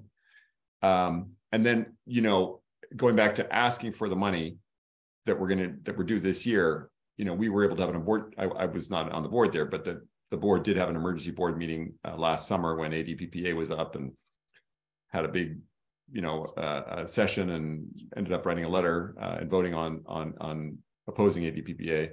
And I would say this is at the same level. If, if, if we get back negative response from some Department of Finance person who says, well, we're not going to give this to you, I would want to have a, a, a, emergency board meeting to say, well, wait, we need to uh, explore options here because again, there's not a lot of. When I look at this, this is cut and dried. So I, I think that um, I'm happy to have this be through whatever proposal that we we go from uh, 10 to 11.18, but we need to get to the 11.18. Okay, so the 11.18 is not a question. Um, okay, um, the the question in terms of just timing would be going to back years um, and um, and recouping money that had been revert that had reverted to the general fund. And so what I'm hearing, Mr. Mactaggart, is first of all a request uh, for an accounting, so we know for sure. I mean, I can sort of only give ballparks a little bit, um, uh, but I know that that public awareness contract encumbered a lot. Um, and then with regards to the very, very first year, um, we should be able to um, find the numbers. And then secondly, find out if there's a mechanism in um, this budget year or a future budget year to request those funds so that they aren't lost to us. Um, and all I was saying for that second part, not the 11 point whatever COLA, but for that second part, I would really um, like staff to have discretion to research it and let us know what's possible rather than um, us necessarily saying you have to like do this just because I don't know exactly what the traps are um, for for the process. That thank that you. so there are two separate things. Does thank that make sense, Mr. Mactaggart? Yes, thank you. Okay, good, great, thank you, um, Ms. De La Torre. Oh, I'm sorry, Mr. Soltani. Is it all right? Yeah, just yeah, Ms. De La Torre. I I just think that you know when I hear Mr. Mactaggart speak it sounds really clear, but uh, then I get confused. So I think that what we need to do is identify the money that was not requested, that was lost because it was not requested. That's one bucket, right? And then there is another potential bucket of money that was requested but not spent. Is that is that correct? Yeah. So so so long as we have an, a general accounting of that, I think that you know we should leave to the agency to give us an understanding of what might be recoverable from that, and you know make their best effort. Um, it was difficult the first two years. You know, we were all new. I'm just you know if something was um, perhaps not you know requested that should have been I just uh, I'm very um, aware of, of what um, our director faced when he was appointed. We, we didn't have a staff, you know, the, the process was so new. So I don't I don't think that there is much use on going back to the past to, you know, identify who or you know what was not done. It's just more about, you know, if there's buckets in the past that we can identify that are recoverable, how do we get there? What is the best process to get there? Okay, thanks, Ms. De La Torre. Um, the first year is weird because um, we were given, you know, we didn't have an advanced BCP. Um, we were allowed to file a BCP that just matched what we spent again because like we didn't exist. Yes. Um, right. Okay, Mr. Soltani. Right. So we don't need to well, re-engineer any of that. It's just about you know identifying the accounting recover. Yeah, yeah, the, yeah, the, accounting point. Yes, thank you, mm. um, Mr. Soltani. I was just going to ask for clarification, but um, between the discussion between Ms. De La Torre and you, I think I think we got it. I think uh, in terms of what the board wants, I'm happy to repeat it, or but I think we got it. we have it. All right. Um, so um, thank you very much, Mr. Soltani and Mr. Laird um, for popping in to help us. Um, I believe that um, we have, the board has provided um, its direction and Mr. Soltani, do let us know if that did seem unclear. I think we have a pretty straightforward set of tasks and thoughts that hopefully you can work with. I have uh, one point of, I apologize to jump in, sure. one point of clarification from Mr. Laird in response to Mr. Mactaggart's um, question uh, regarding um, uh, if if if for some reason the Department of Finance um, uh, uh it does not approve our, our revision request.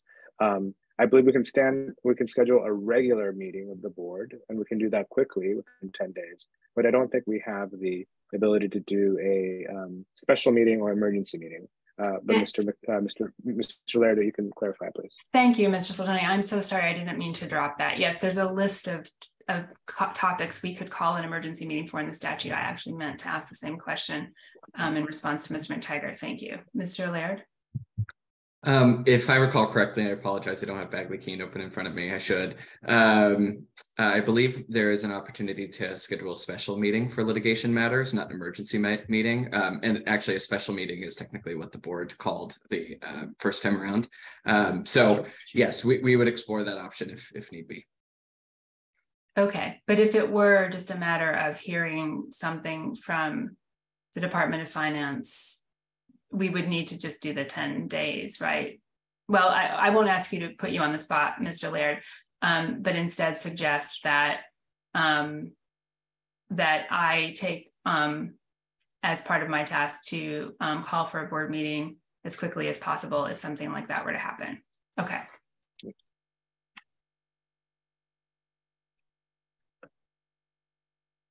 Okay. Um, uh, Mr. Sabo, um, uh, I would like to give the public an opportunity to comment on this agenda item if they would like. Um, would you please call for public comment?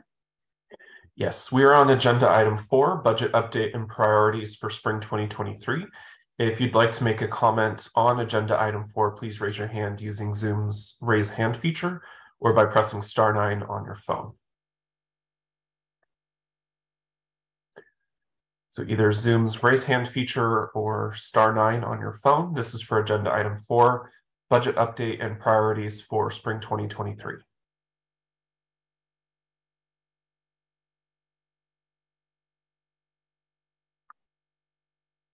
Madam Chair, I'm not seeing any hands raised at this time. Thank you very much, Mr. Sabo. Um, all right. Um, I really thank the board um, for robust discussion and to the staff for providing us with, um, I think, very helpful sort of framework and also very helpful detail um, on what is a fairly complicated process. Um, and I think that we have been able um, to give the staff um, sufficient guidance um, to move forward um, with the budget process this year. And we'll look forward to hearing back anything from them on that and also to um, our meeting on setting priorities um, for the next year, which will come up sooner than you think. Um, so thanks very much to everyone for, for the input and for the discussion. And with that, let's go ahead and move on. Um, actually, let me just pause since we've been meeting for about two hours. Does anybody need a break or shall we just keep going?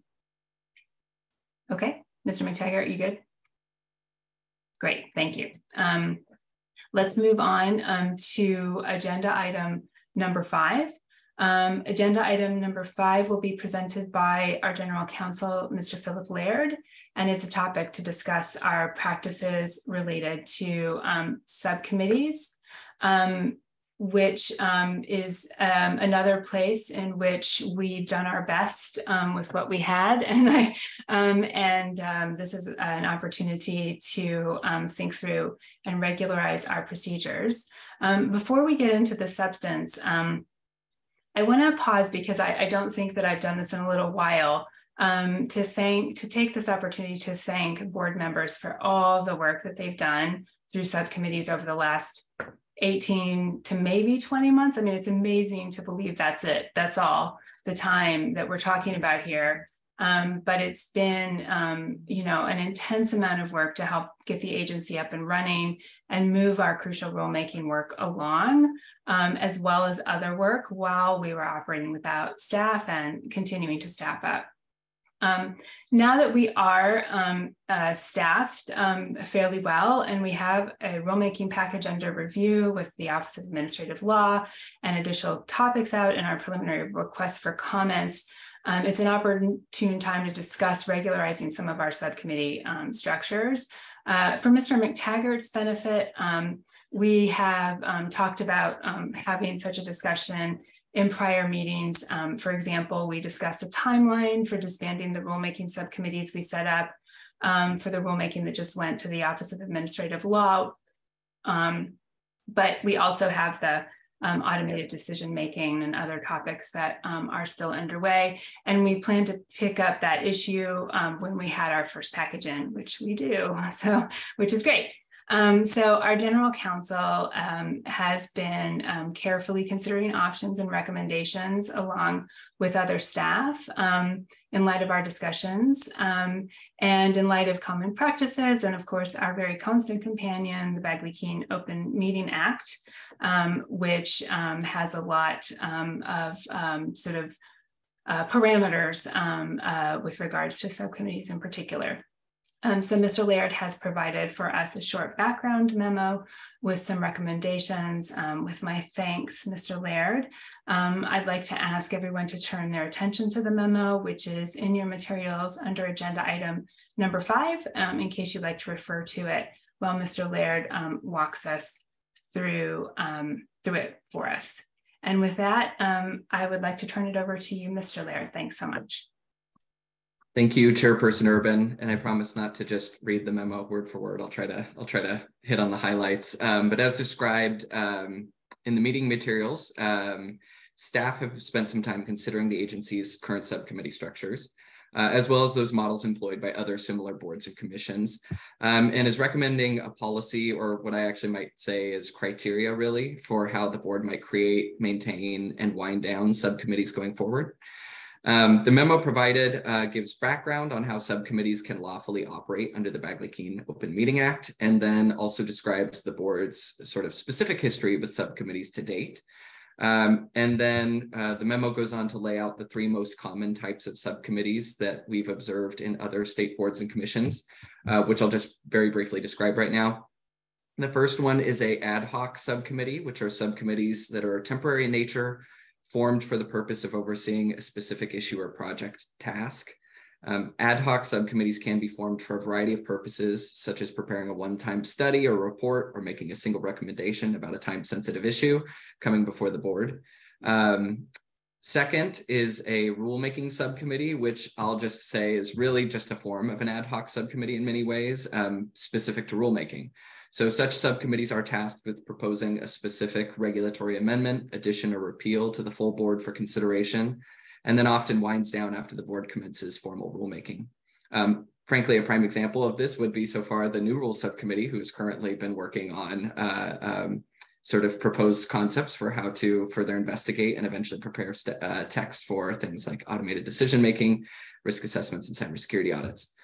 Um, finally, we I describe uh, what is called a subject matter subcommittee, which is typically more of a standing subcommittee uh, tasked with making regular updates and recommendations to a state body, really at key junctures within their subject area. But again, sort of a specific set of deliverables uh, just on an annual basis. Um, now, as can be seen across various state boards and commissions, one size or format does not necessarily fit all when it comes to subcommittees. Uh, some boards never form or utilize subcommittees, while other use them quite regularly, or in some cases are required by law actually to form a specific subcommittee. Um, factors that can inform the best options for a board subcommittee use include, but are not limited to, the size of the board, the interest in a given subject by board members, size and expertise of staff and or board members, and the likelihood of subject matter overlap between subcommittee topics. Um, the memo then basically concludes with the recommendation that the board consider starting, continuing, and winding down subcommittees uh, when uh, three factors really are, are at play, and that is the subject matter and tasks assigned to the subcommittee can be appropriately bounded so that there aren't any issues with overlapping subject matter that sort of halts the work of either subcommittee. Um, the subcommittee can be given a specific deliverable based assignment with clear timelines for completion and that there is a benefit from the heightened engagement, advice, and guidance by minority of board members on a particular subject. Um, so that really is the memo in a nutshell. Happy to answer any questions, but otherwise, you know, my thought was at this point, I would turn it over to you board members to consider what fits best for your, your board. Thank you um, very much, Mr. Laird. So the recommendation is that we regularize our current subcommittee structure and plan to look over these factors as we move forward? That's correct. That's okay. correct. All right. Um, thank you um, very much, Mr. Laird. Um, uh, comments, questions from board members?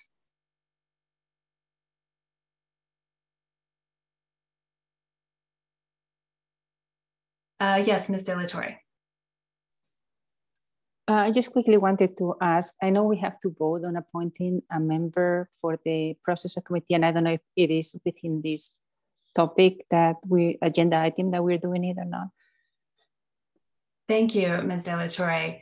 Um, so um, uh, we um, uh, let me let me actually, you know what? I think this this is um, a good place to start talking about that, and also more generally. I'm not sure if Mr. Laird I don't recall him mentioning um, when going through the current state of our subcommittees, uh, which is that I believe it's the new role subcommittee is the only one that currently has two members, right? That is correct. Okay. Um, so we have several subcommittees um, that have lost one of their one of their members. Um, I don't think we have any that actually just kind of disappeared because members all members left. Um, but but we do have um, all all the subcommittees except for the new role subcommittee um, have lost members, and um, I think that this makes it even more of a good opportunity to kind of talk through where we are and think about whether we should go forward um, with subcommittees um, in the current in the in their current form um, whether we should like what we should do to make sure that we're very carefully bounding things um, so that we don't um, inadvertently run into issues um, uh, either now or in the future with regards to subject matter that we can't share between subcommittees but you know staff would be able to collect um, information and um, and be able to advise um, the board um, or advise sort of more bounded subcommittees. So um, I think it's generally, I think it's just a, probably we should just walk through each of the subcommittees um, that we have right now um, and and see if we can subject them um, to the to the rubric um, and what we think um, is what I would suggest. So short answer to your question, Ms. De yes, I think, um, and I hope Mr. Laird agrees, like that's a subcommittee question, so we can talk about it um, uh, with uh, under this item. and we also, it is something that relates perhaps to some degree to the to the next item um, although again, that's sort of a more general framework. So I think that that is absolutely um, a, a, fair game to talk about. Um, uh, Mr. Mactaggart put his hand up and took it down. Um, that's because you, uh, Madam Chair, you, you uh, answered. I was going to suggest because I'm not super familiar with them.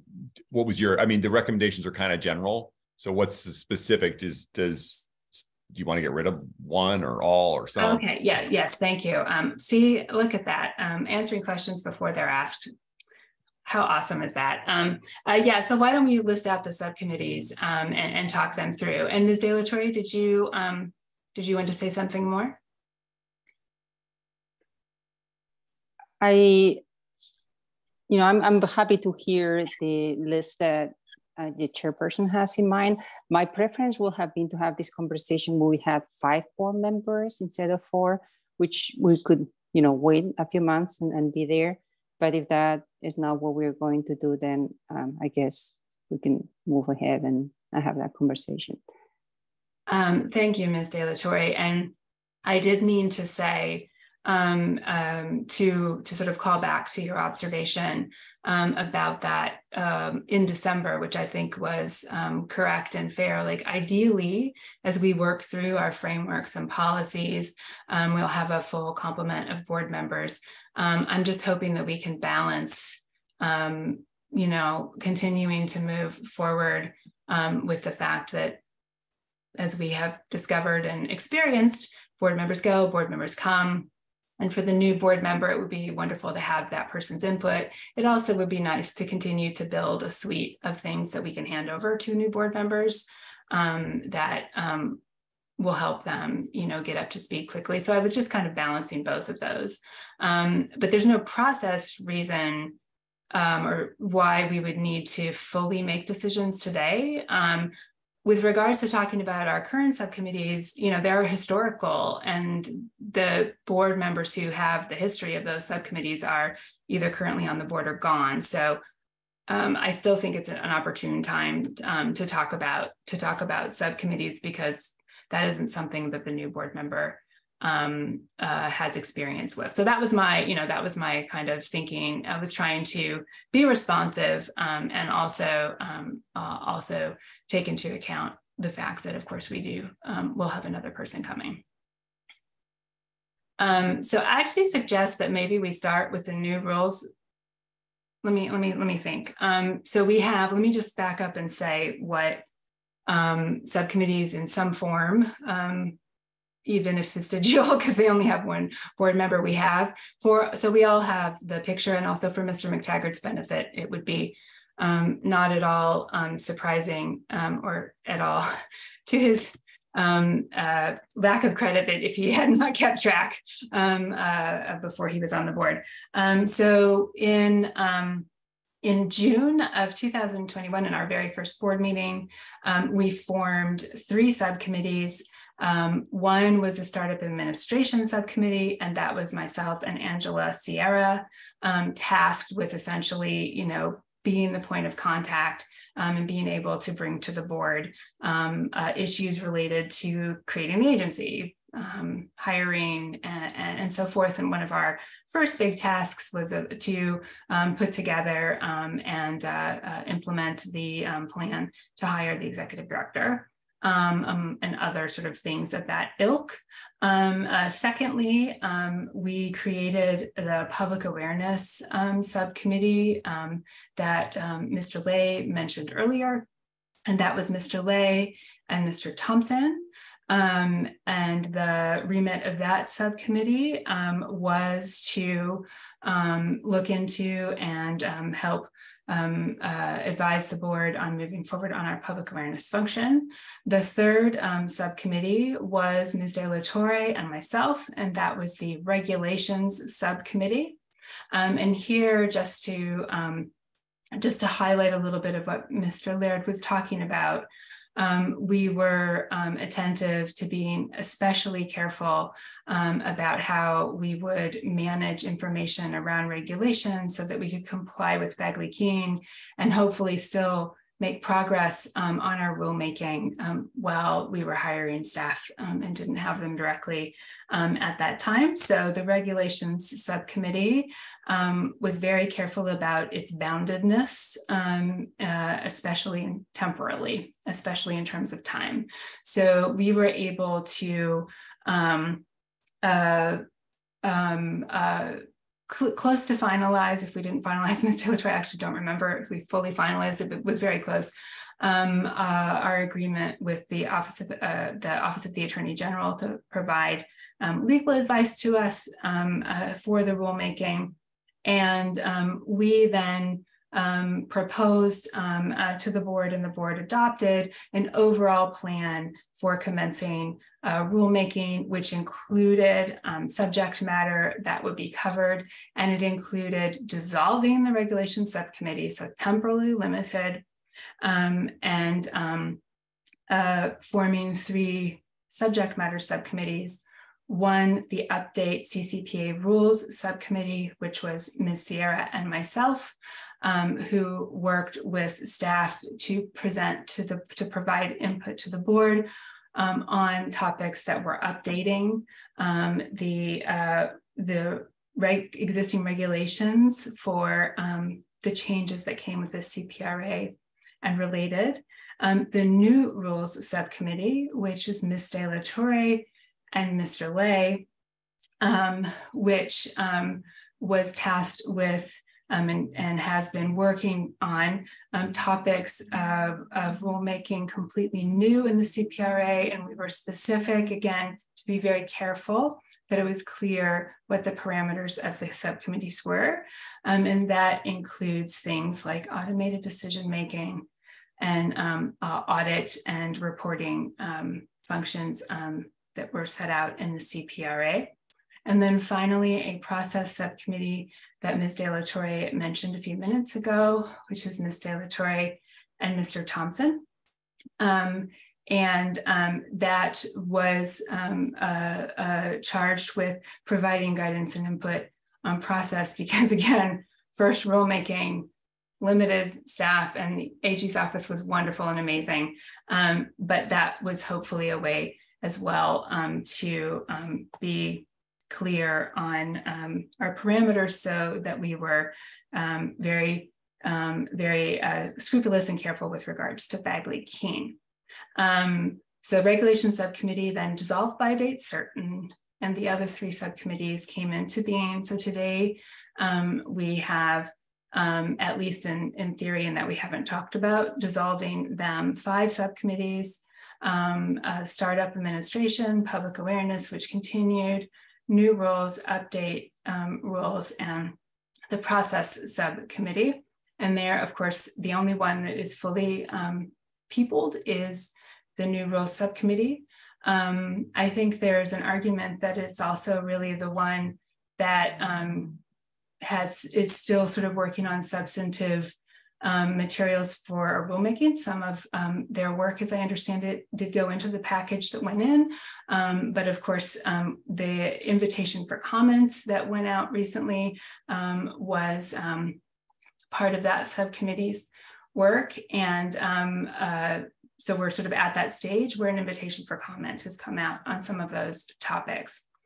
Um, uh, the Public Awareness Subcommittee, I'd be very interested to hear your thoughts, Mr. Le. Um, uh, my thinking about it was that you and Mr. Thompson, you know, did an amazing job, like making sure staff were supported and that you were giving guidance to staff, um, uh, particularly around, you know, building things out, getting the um, the the um, the ads that went out last year and developing the contract. Um, but that that is also something that could um, go to staff with um, the board um, either um, giving input as a full board because this is a situation if we compare it to the to the to the list this is something where it's very clear all the board cares a lot um, uh, about it. Um, or we could um, dissolve the subcommittee which we just kind of it was more general and we didn't put a time limit on it but then um, uh, create subcommittees for specific you know campaigns or specific projects if it seemed to make sense um, so that might be a candidate for that approach. Startup Administration um, Committee might well be a candidate for that approach um, because we have amazing staff. Um, anyway, let me just pause there because um, I do, do, think it makes sense to hear Mr. Le's thoughts um, uh, on the Public Awareness Subcommittee. And I apologize, I have a virus and so I know I have a frog in my throat, so I am sorry. And if I need to speak up, someone please tell me. Thank you, Mr. Le.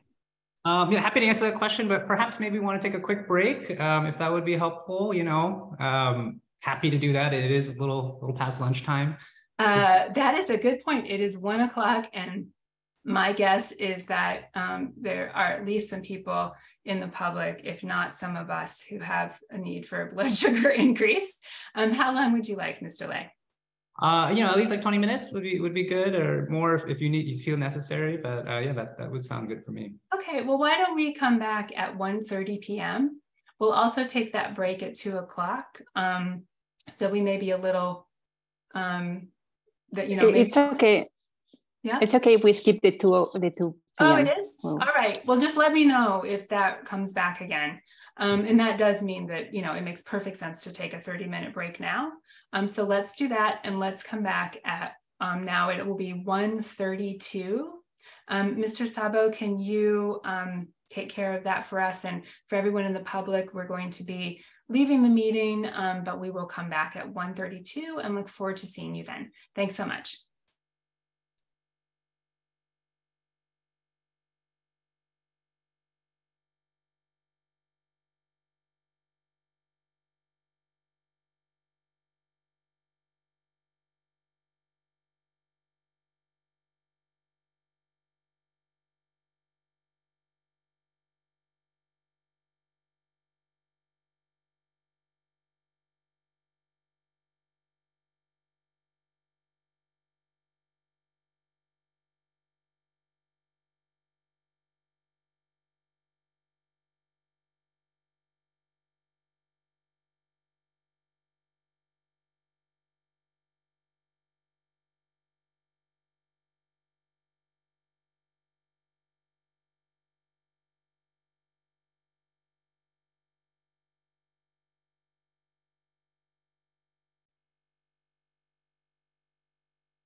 All right, it's 1.30 p.m. on Friday, March 3rd, and the uh, meeting of the California Privacy Protection Agency Board uh, is returning from a break. Um, if everyone is ready, I see Ms. De La Torre's camera is off, so maybe we'll wait for just a minute. And while we wait, Mr. Laird, um, just to check, um, I mentioned I have some kind of virus. I've been coughing. Is it okay if I turn off my camera to cough?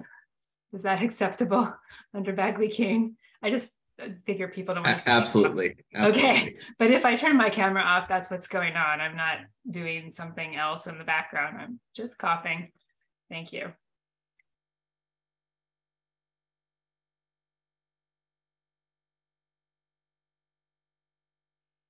Um, all right, Ms. De La Torre, are you with us by chance?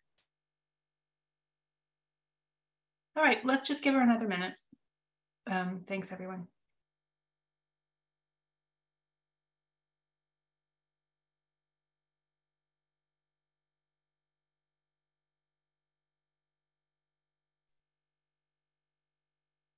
All right, welcome back, Ms. De La Torre. Welcome back to everyone. Once again, um, this meeting of the California Privacy Protection Agency Board is returning from break. Um, we are currently discussing agenda item number five, which is uh, related to board and agency policies and practices regarding subcommittees. Um, Mr. Laird uh, very helpfully put together and gave us um, a memo and kind of walked through it with us um, in terms of considerations that staff recommend we take into account when utilizing subcommittees um, for board and agency work. And we were in the process of talking through um, the subcommittees that we had already set up. Um, we uh, were focusing in a little bit on the public awareness um, subcommittee at the moment. And I believe where we left it was um, I was asking Mr. Le what his thoughts were in terms of um, whether it's an appropriate time, um, given that he doesn't, that the subcommittee, we've lost two board members um, and we have staff for the that work to sort of be absorbed back to staff. Um, and then, you know, we create more bounded subcommittees um, or if, for example, maybe you know of something ongoing that would have an end point, um, or if you had other thoughts. So I believe that is where we were in our discussion. Um, if you would like to um, give us your thoughts. Yeah, you know, I think everyone should have an opportunity to opine on, you know, where the public uh, education should be. You know, I think uh, Mr. Thompson and I, you know, did our best, um, but this isn't an area where no one else has you know, doesn't like the other board members can't also contribute. So, um, you know, I think, you know, if staff is, you know, willing to reach out to each individual board members to solicit ideas on their public awareness, um, you know, direction, um, and perhaps maybe having an agenda item to summarize those those conversations and maybe discuss those at, at the full board meeting makes sense to me. Um, you know, really, uh, I think a lot of it you know, I think a lot of my thinking hinges on the the hiring of the public affairs person. Um, you know, we had the subcommittee because we didn't have a public affairs person. We've had the the job um, out, um, the job application out for for quite a while, and I believe you know the the process is you know kind of coming to an end. So. I think it is a good time to transition that responsibility uh, to the public affairs person.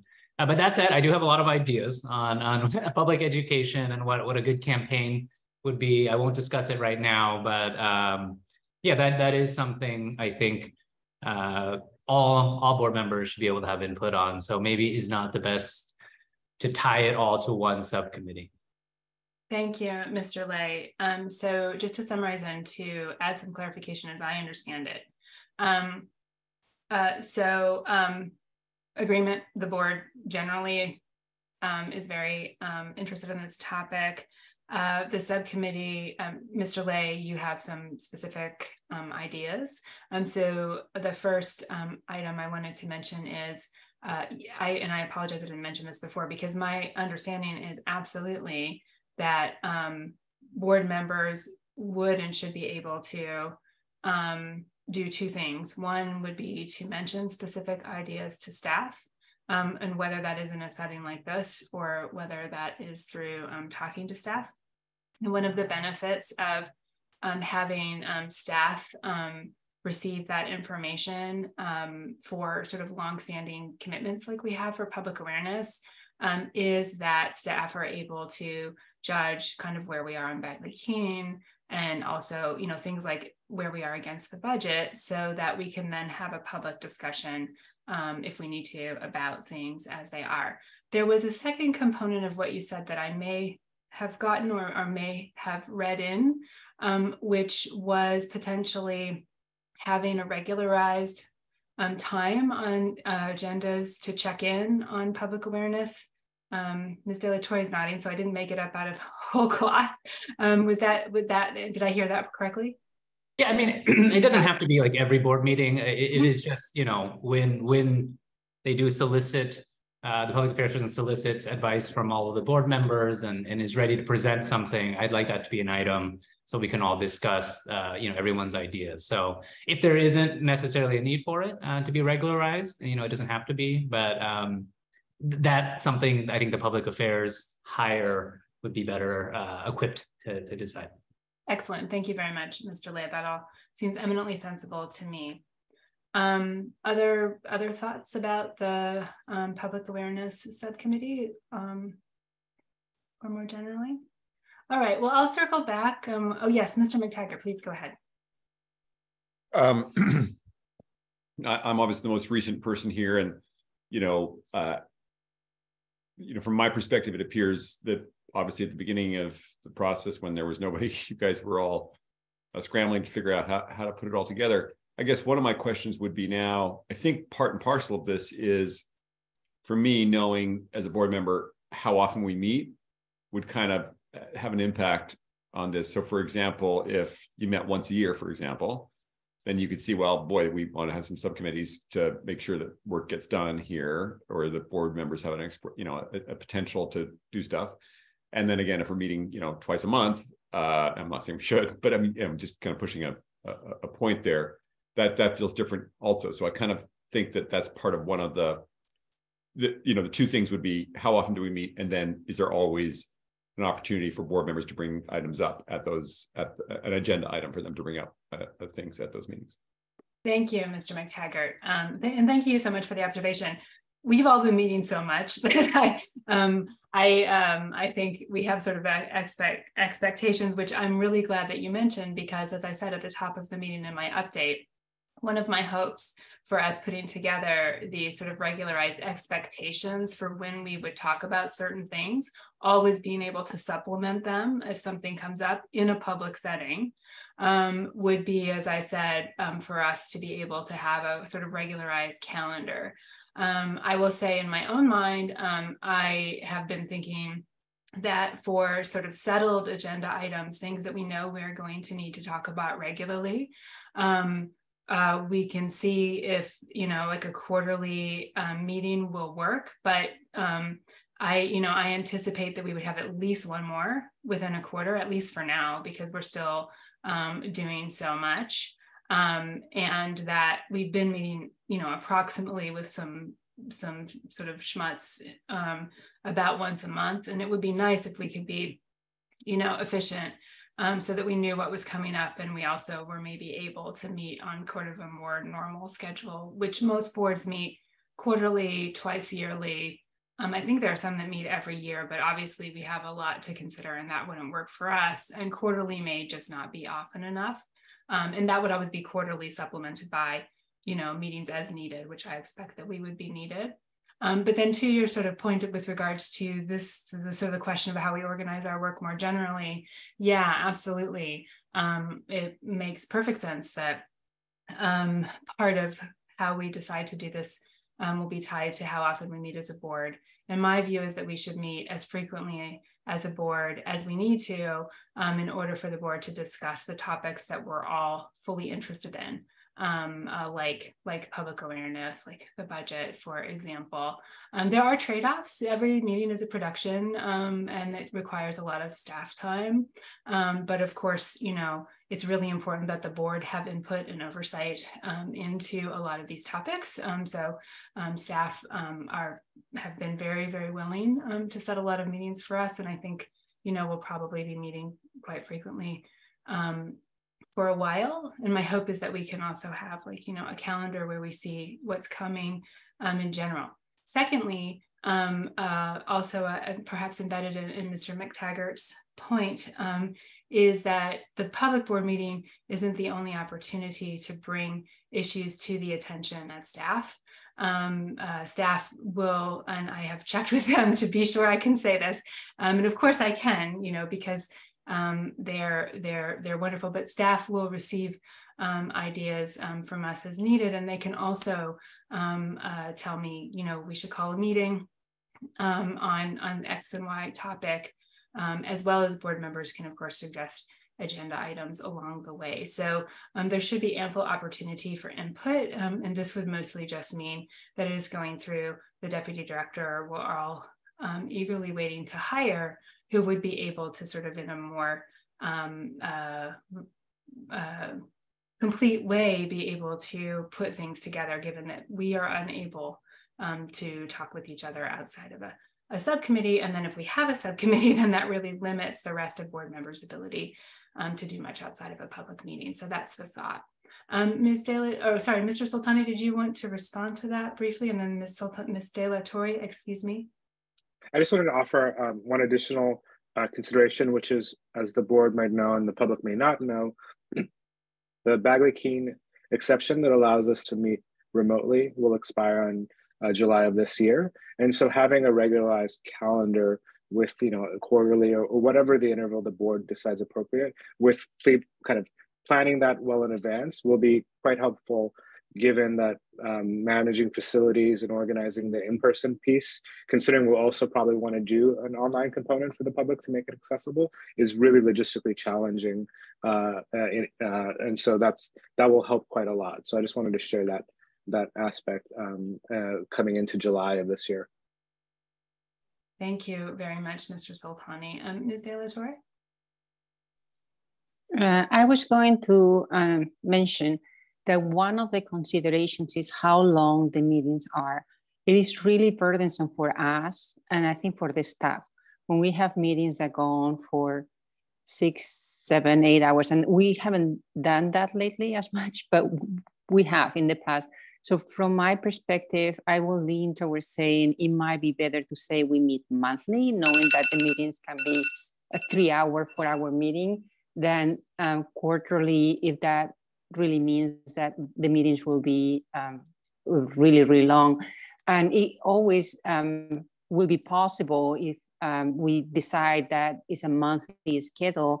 If there is a month when there is not enough in the agenda, that can be canceled and the agency is already you know preparing in advance they have the place secure if it is to happen it's easier i think to cancel than to um, you know try to go over the time or um, schedule something that realistically has to happen in a physical location with a short notice Thank you, Ms. De La Torre. And that is a good point. And, you know, um, this is another reason why I also should have paused, and I would like us all to pause right now um, to celebrate a little bit that we are at this point um, where we can talk about regularizing structure and, um, uh, you know, directing staff um, to um, to do some of this work for us um, and to be able to focus the board's attention in meetings um, on the kinds of things that um, are very directly tied to vision, strategy, governance, um, and those kinds of things. Um, because you know we've kind of often had to meet on stuff that because we didn't you know we didn't have staff so we had to talk about a lot of stuff um, and so hopefully um, uh, we are in a place um, where we can focus our collective board time and staff's time putting together our meetings on that kind of thing. Um, but um, I um, think that's a very, also a very helpful suggestion regarding timing, Ms. La Torre, um, and I have noted it down, so thank you. Ms. Mc, Mr. Mactaggart. Thanks. Not a particularly uh, substantive comment, though I do think it, when I joined, my first couple meetings were on the weekend, and I just think for our staff who are proverbially overworked, I think it would be uh, good if we tried to keep um, the meetings to, to work hours for them. Um, I guess the first thing, and then the second thing is I just, I don't know what the right meeting is, and eventually I can see getting to a less time. It just feels like right now quarterly probably feels light, um, and uh, that's my two cents right there. Great. Yes, thanks, Mr. Mactaggart. And I just want to be clear that, uh, you know, we'll, we'll put together all of the different sort of regularized ideas that staff have had for us and that we've talked through, see where we are. I anticipate, you know, probably bringing that up a bit the next time we meet, you know, just to see where we are with a potential calendar. And I, you know, I hear you, which is why I said I suspect there would be at least one off meeting. Ms. De La Torre's point about timing of the meetings is also helpful. Um, each one does require a um, sort of set, like there's a minimal, sorry, there's a floor on the staff work for each meeting. Um, so that's also something, but if you, you know, we'll just keep all of that in mind as we, as we work on it. And absolutely, Mr. Mactaggart on weekends, it was just the once um, for the, for the rulemaking. So, um, and staff's work was very much appreciated. Um, thank you. Ms. De La Torre? I also wanted to mention an idea that I think we um, talked about in the past, which is that if we reserve some of the meetings for administrative um, uh, issues like this one, it might be that we don't need to organize a Zoom around it because there's, you know, there's not that much public need um, of awareness. Obviously, the meetings will still be open, um, and that might help alleviate the burden on the staff.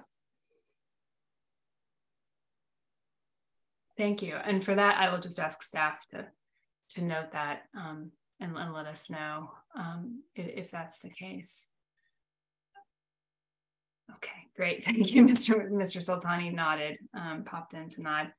Um, all right, so thank you. So what I suggest is um, we'll I'll, I'll circle back on the public awareness um, subcommittee, but it seems like it probably makes sense for that one to be absorbed um, uh, into the agency. Um, and we will all look forward to hearing from our new director, deputy director, uh, uh, when when that person arrives. And I understand hiring is processes going on.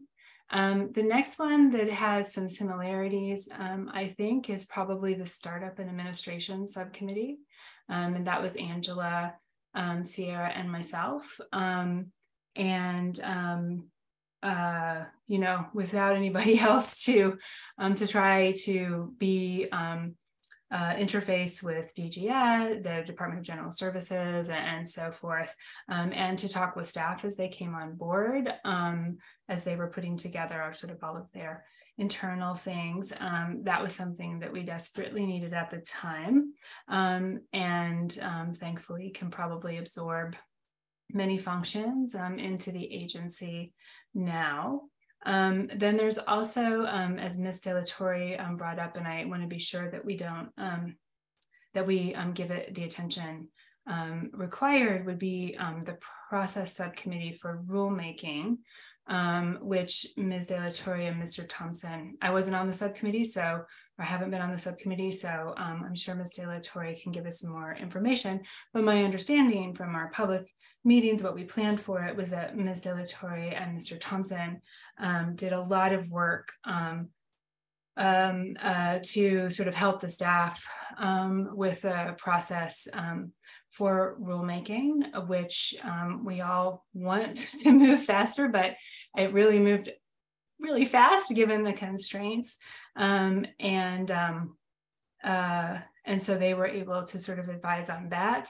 Um, we can talk about it now. We can bring it back up when we talk about the broader, more general rulemaking process that we have coming up in our next agenda item. But I want to ask for Ms. De La Torre's sort of thoughts um, because, again, the rest of us don't have the benefit of your work on that subcommittee. Sure, uh, happy to um, talk about that. I think we also should talk about the CPRA update rules subcommittee, which is an ad hoc. It seems to me like we're on the other end of just almost having that package approved. But, yes, um, I was um, going to pair that with new rules, which we'll get to next. okay. Less, less processy, more substance. Yeah. Okay. Um, so the um, rulemaking process of committee was tasked, I think it was in March with four different things. The first one was coordinate the generation of a report comparing CPRA with the system regulations applicable to insurance companies that has not been done and it should continue the work. I haven't received an update on that because the um, subcommittee has not been able to meet, but I think it is urgent because the insurance industry is waiting for us to give them guidance as to how our um, statute applies to them. The second task was to supervise and coordinate rulemaking effort until staff can take over. And I don't disagree with Chair Urban that we probably are at a stage where staff can take over that task. Um, the third task was to provide recommendations as to how to best organize future rulemaking efforts. That's again something that is ongoing. And I think it would be beneficial to have as a subcommittee propose ideas for the board to discuss. That should be a board discussion, but it is these are advisory subcommittees. They are not decision-making subcommittees. They are structured to bring ideas to the board so that we can have a conversation in a more organized fashion. The last thing that was assigned to the uh, rulemaking process of committee was to consider and make recommendations on any new, any, on any need for additional rules. Um, we haven't had discussions about that in the subcommittee so far, and I'm not sure that that's something that needs to continue within the purview of the subcommittee. Uh, but we could, you know, we could leave it there. The agency staff, if they have ideas on um, new items that might have to be changed, um, it could be a good um, forum for them to bring it before it comes to the board. Um, so I think that is an ongoing subcommittee that has a task that has been assigned to it that is important, and we should continue the subcommittee until the task is finished. Thank you very much, De La Torre. That Ms. De La Torre, that was really um, helpful. Um, I'm hoping that maybe Mr. Soltani or Mr. Laird can um, um, touch on the insurance item. Um, with regard to the others, I'm ticking through them, that'll make sense. With regards to new topics for rules, my thinking is that again, and one question I have for Ms. De La Torre is kind of how this relates to um, the next agenda item. So I'll come back to you and, and ask about that with regards to generally sort of rulemaking. Um, but with regards to new items, my thinking is that um, it would be probably best at this point now that we have staff um, for that to sort of again dissolve um, maybe into a broader purpose so that all board members are able to directly um, bring potential topics um, to staff and staff can kind of compare them in a way that we can't um, we had such a minor version of this with the update rules subcommittee, but we had to be very careful about not running into things that in theory could have been something that you and Mr. Le were working on, maybe, or even the process subcommittee, maybe. So, um, so it, again, it's a challenge when you add board members to that like layer before the full board meeting, if that makes sense. Um, and yeah, so let, maybe let's talk about that, Ms. La Torre, and then I'll ask Mr. Laird or Mr. Soltani to, to enlighten us on the insurance bit. Uh, you're on mute. It will, uh, just for clarity, it was never intended that board members will have to bring to the subcommittee any idea for new rules. It would be, you know, outside of Bagley if, if that was the case. Uh, I think it was intended for staff to be able to have the choice to bring that conversation to the subcommittee. And uh, it, I don't think that has happened. Um, so I'm open to um, hearing Mr. Soltani's um, and Mr. There's ideas about that. To the extent that we don't have a different process, I would prefer to leave it with the subcommittee until we can consolidate what that process will be. Thank you. Let me just also explain so they can respond. My my word, and you all know I'm the nerd, the Bagley Keene nerd, and I'm sorry. I know I can be kind of pedantic about it, but my worry would just be that, say, Mr. Mactaggart or I bring a topic um, to Mr. Laird, and then um, Mr. Laird is precluded from bringing it to the subcommittee because that's two more board members. Um, uh, so we kind of get a little bit stuck. Do you see what I'm saying? Uh, um, uh, not not quite. I haven't found it difficult to deal with that. I think that that the solution for that would to bring it to the board. If oh, something yeah, has been, which, yeah, was, if yeah. we're meeting monthly, that's the solution. If a conversation has been had with two board members, then bring it to the board. Yeah, well, and that was it. That was, I think we're in agreement on that. That was why that particular function of the process subcommittee, I'm not sure makes sense sort of going forward without like a bound. And um, so Mr. Soltani or Mr. Um, Laird, can you respond to Ms. De La Torre's question? Um, and I think our joint question with regards to the insurance function. Sure. Would you like me, Mr. Soltani? Yeah. All right. Um, so yes, uh, uh, uh, Ms. De, De La Torre, we have been um, staff has been actually working actively to continue their assessment uh, for that provision. Um, and it is actually uh, hoping to sort of finalize that assessment within the coming uh, couple of months at, at, most i would say. So we um, and then at that point i think would be prepared to come forward to the board with some recommendations around um, those provisions um, I understand we haven't had a chance to check in sort of in a formal subcommittee uh, capacity, but that work has been ongoing from a staff level. Um, so I can assure you of that. And I think it's something we would be prepared to discuss um, sort of with you know wh whoever we're directed to discuss that with at this point but i think we'd be prepared to bring uh, the conversation to the board um, in, in you know within the next couple of months thank you mr laird uh, mr mactaggart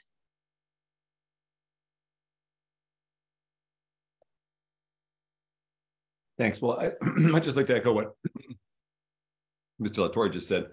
Feels to me like if there's a regular ability to bring up topics uh, to uh, the board uh, and for future rulemaking. And uh, I have some thoughts about the next gen item, but you know, I think um, that's kind of that, that might solve the problem of the Bagley Keene and you know these things. And I, I again, I'm a big proponent of. I'm not, I'm not sure that rules proposed should be proposed sort of in secret. I think they're you know to, just to the just to the agency staff and then wait a long time to get back. I think why not come up with them because that's the time you know you come up with an idea and you say, well, I think this, and then you know two other board members say, well, no, that's bad idea because of this, and then you think, oh yeah, that's right, and, and then you can maybe save some time there you get a sense of the board also, because if one person brings up a, a, you know a proposed rule and all four other people say that's a terrible idea, then the, probably the person's like, oh, okay, well, let's not waste staff time on that. So I I, I think um, I'm I, am kind of echoing what uh, what uh, Ms. De La Torre said there. Thank you, Mr. Mactaggart. And I actually think we're all in agreement on the the fundamentals here, which um, correct me if I'm wrong, which is that all board members have an equitable ability to um, suggest things and that it gets to the board in an efficient and sort of quick manner um, uh, with transparency. But I think maybe process wise um, for this discussion, I don't know that it could go a couple of ways. Like we could just keep on talking about this, but part of that, is, um, Mr. Mactaggart's really good point um, is related to our next agenda item discussion, where staff have tried to put together for us um, a potential plan whereby we have dedicated clear time that we're setting priorities for rules, that we're talking about rules, of course, also supplemented with bringing things forward um, on a regular and sort of constant basis as needed. Um, so these things do connect um, uh, um, uh, in various ways.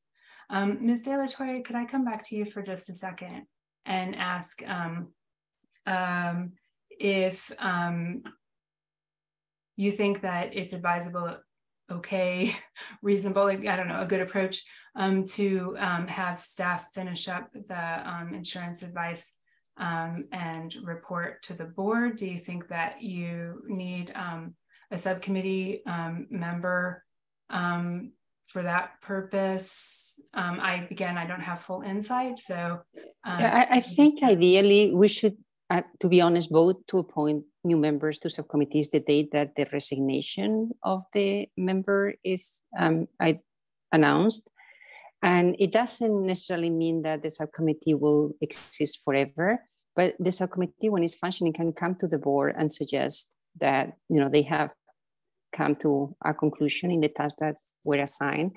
So that's why, to me, what makes most sense is to appoint a new member to the subcommittee and then allow the subcommittee to go back and meet with these. I, I really do not have much information because before um, the um, announcement uh, that Mr. Um, Thompson was leaving, um, we suspended meetings for several weeks because the agency staff was not available to answer some rather important questions that we had.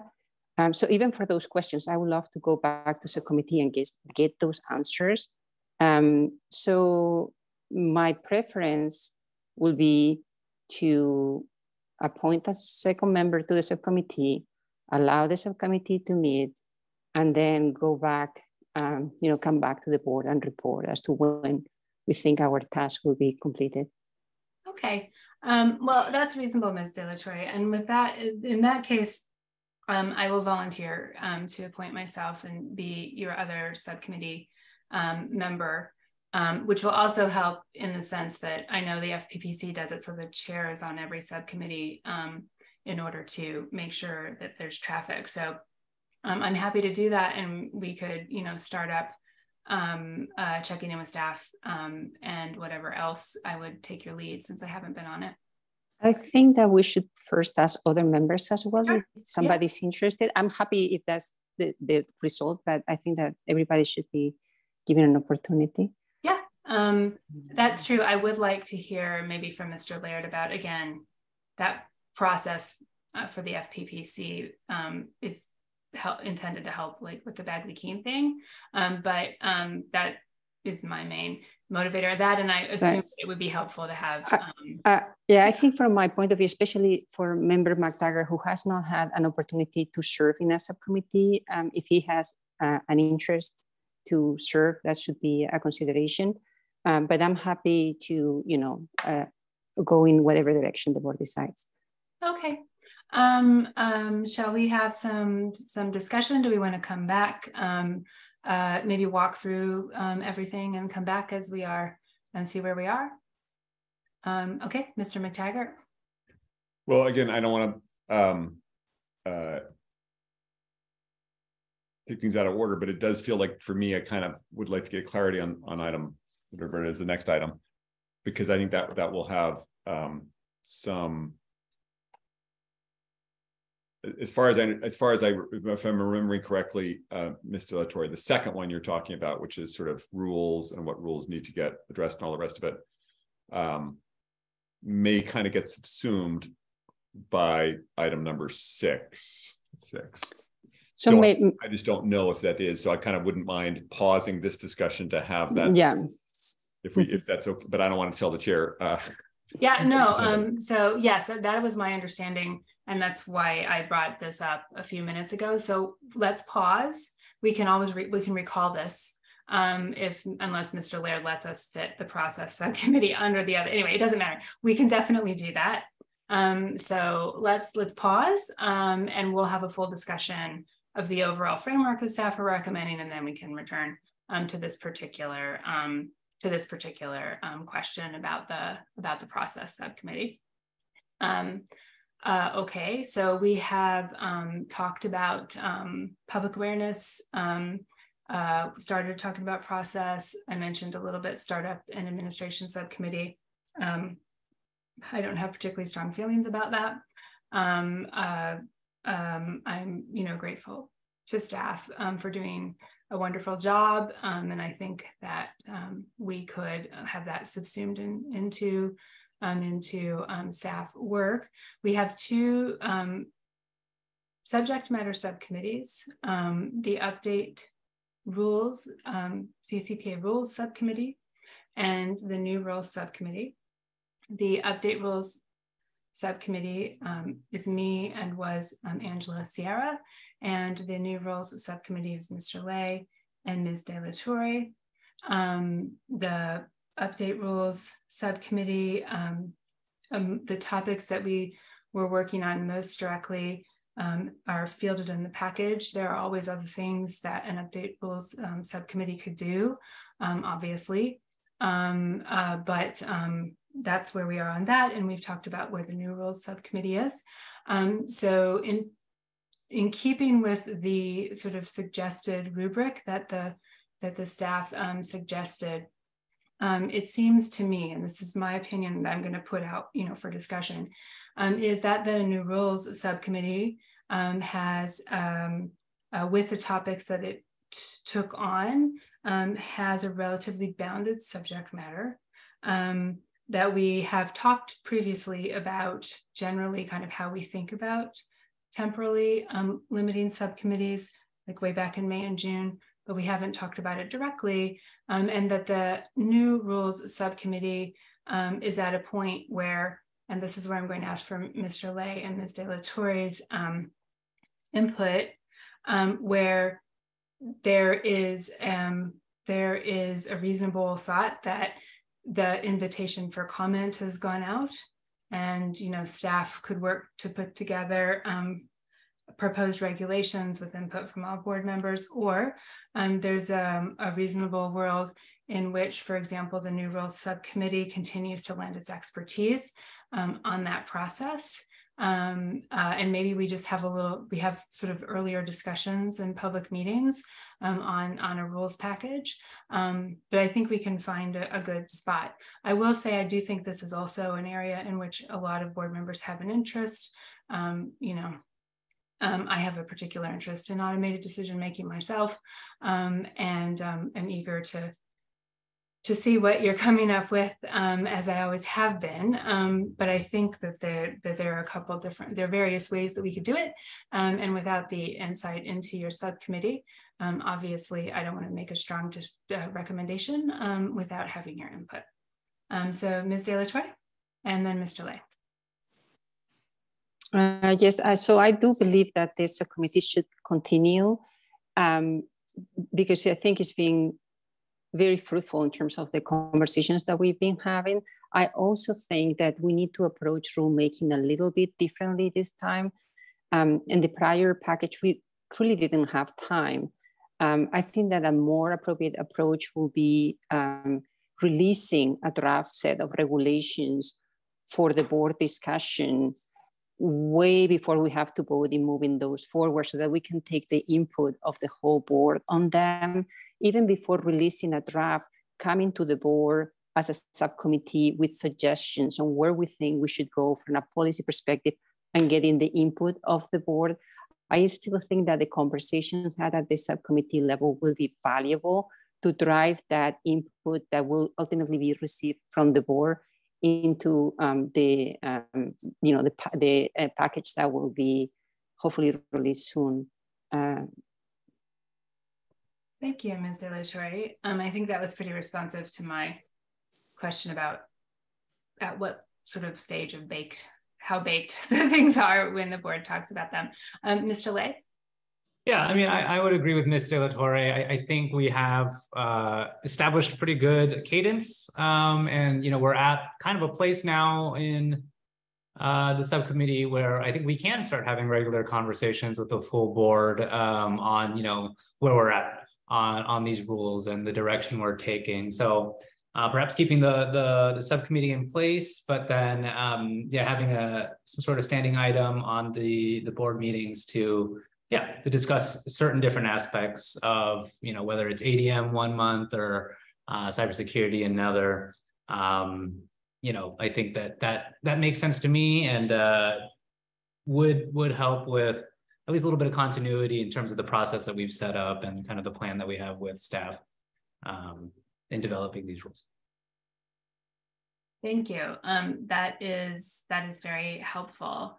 Um, in the spirit of the framework um, that's been suggested, which I know is informed by a lot of expertise and I, think is generally helpful. Um, then that, that all makes sense to me. My only question is with my usual nerd Bagley Keene hat on, sort of would the endpoint then be a package of rules? Um, do you think? Um,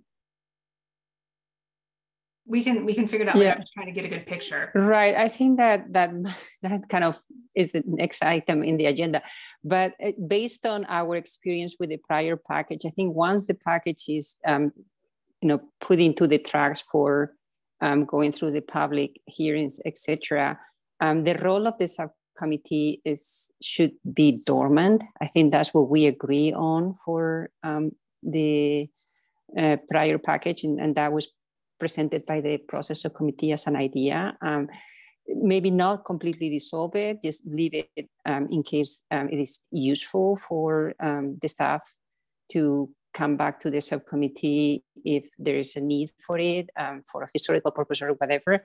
But once the rules are in, in the administrative process for approval, to me that is a board product and we should all have an opportunity to um, have conversations at the board level about any areas that we might want to consider. Yes. Thank you, Ms. De La Torre. That's helpful. Um, Mr. Le, did you have, did you want to? Yeah, I mean, yeah, I, I think to, you know, to your question, you know, I think, uh, yeah, to, Mr. La Torre mentioned we'd like to show you all, you know, draft rules while it's still in the pre-rule making process, while there's still a lot of opportunity to um, yeah get more input uh, from the board. So just just to answer your question, yeah, I think maybe not a com fully complete rules package, right? But something that you all can take a look at and, and provide comment on during the pre-rule making process would be like a good deliverable for, for our subcommittee. Okay. Um, I just want to ask Mr. Laird if that makes sense from staff perspective. And again, we can we can circle back after we talk about the whole process, as Ms. De Torre pointed out. Yeah, I, I guess just from my perspective, and it, it's it's what I think I'm hearing is is as long as sort of we have like a deliverable focus, um, sort of for the activity that helps. I think from a staff level, us provide the best support and understand the support we're expected to provide. Um, so um, so to that point, you know, I, I think um, once that's set out, and it sounds like we're, we're kind of in the process of doing that, um, I think we know how, then how to best support um, going forward. So I, I, I don't think I have further questions at this point, although I did see my director just come on. So anything further? No, I was just popping on in case. I, yeah, no, I'm good. Nothing. All right. Um, thank you. Okay, so um, as anticipated, there's a connection between some of the rulemaking connected subcommittees and the, the rulemaking sort of regularization um, process. So we've talked about returning back, um, and I think let's just take them all three since, um, although the new rules, I think we've come to a, a good place, but we might as well circle back after we've talked about the whole process just to be sure. Um, and then my question for Mr. Laird is, uh, we could circle back and we could consider the framework that the staff has um, proposed since we've been adopting these clearly in each meeting now, or we could also just kind of do that together with the um, rulemaking framework. Um, the reason I'm asking is that I'm unsure about public comment. Um, should I go ahead and take public comment on subcommittees now, or can we circle back um, and take public comment when motions are on the table, if that makes sense? Yeah, my my recommendation might be actually, if I'm getting this correct, is that we can move on to the next agenda item, have that discussion, maybe even end with a motion if there is one to be made, um, and then return to this item for that final public Okay. comment, motion, right. and action. Thank you for clarifying um, that. Um, I once moved, once in all the meetings and all the agenda items, I once moved on accidentally and it burned me. And I don't, I don't ever want to do that. Um, uh, so in that case, then let's pause um, our discussion um, on agenda item number five um, with the understanding that we'll circle back um, to provide any final decisions and guidance to staff in a bit and move to agenda item number six. Um, Mr. Laird is going to um, present on um, staff's recommendations for practices related to rulemaking going forward. as I understand it, and as this is what we've sort of been discussing throughout, uh, staff um, are hoping to help us um, with a clear and regularized process to provide to staff uh, rulemaking priorities um, and provide input on topics for rulemaking in an equitable um, and efficient um, manner um, and to receive the benefit of staff's expertise all in line with Bagley Keene uh, and to help us set expectations around some of the broader questions so that we have dedicated time where we can expect those to come up. And then also um, be clear that um, we will be working on topics probably um, uh, sort of um, uh, organically um, as, as necessary. Um, so if you would turn uh, your attention to the materials for agenda item number six, if you'd like to follow along. Um, Mr. Laird, may I turn it over to you? Absolutely. And again, I'll try to keep this brief. I won't read what's in the memo exactly, but similar to uh, the subcommittee agenda item, as well as other board kind of policies and procedures we've discussed uh, last December, the memo really is intended to set out a recommended process by which the board members can equitably introduce and consider regulation changes while remaining compliant with Bagley Keene, and then also harmonizing with the timelines and requirements associated with rulemaking under the Administrative Procedures Act. Um, as you know, it can be a lengthy process. And so strategizing sort of our approach to multiple rulemakings, for instance, at the same time takes a little bit of uh, thinking, I think. Um, and so to summarize, the process contemplates this. And that is that individual board members could be uh, provide uh, suggestions to staff for changes or additions um, and that could happen individually, privately, um, but to Mr. Mactaggart's point, could also be made during a public meeting as well. We've had sort of both forms of input in the past. Um, uh, and then staff would then have the opportunity to analyze those requests for things like legality, economic impact, uh, and consistency with existing regulations, as well as other board member proposals that may be coming into us separately at the same time.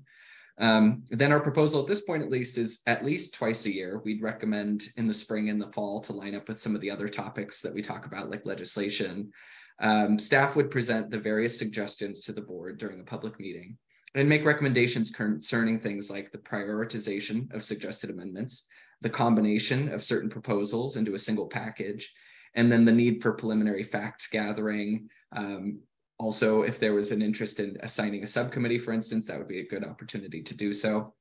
The board, of course, would have final say on what amendments they want to advance. Again, back to Mr. Mactaggart's point, this would be the opportunity for the, you know, four to one say, we don't like that idea, fine, then the board can move on.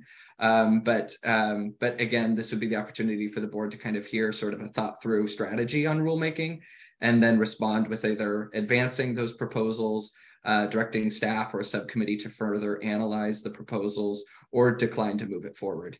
Um, um, and and would not likely under this process, and this is one of the benefits we think, need to hold multiple meetings on those decisions because we'd already know that they were something at least staff thought was lawful, could weigh in on about economic impact, um, and could also have presented sort of a strategy for how we would maybe move it forward in tandem with other rulemaking efforts.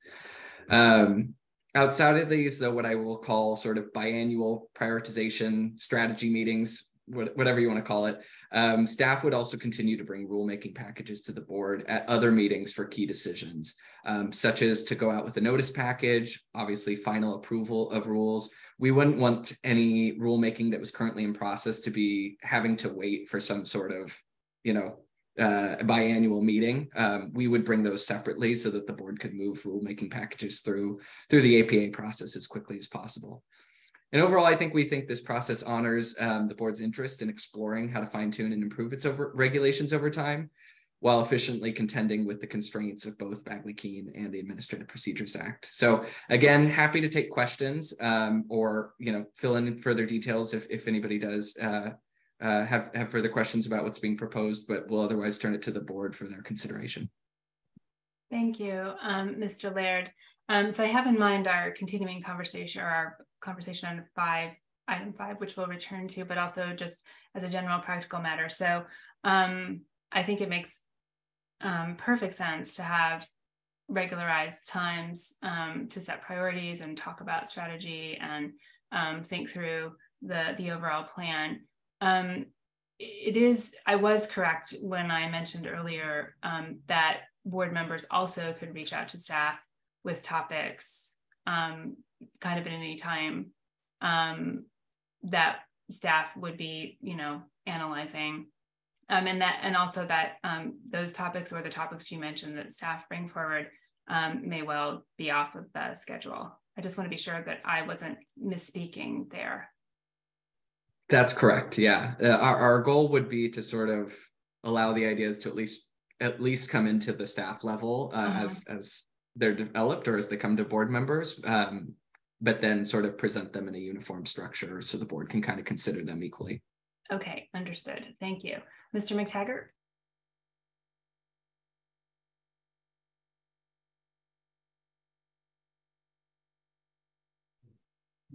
Thank you.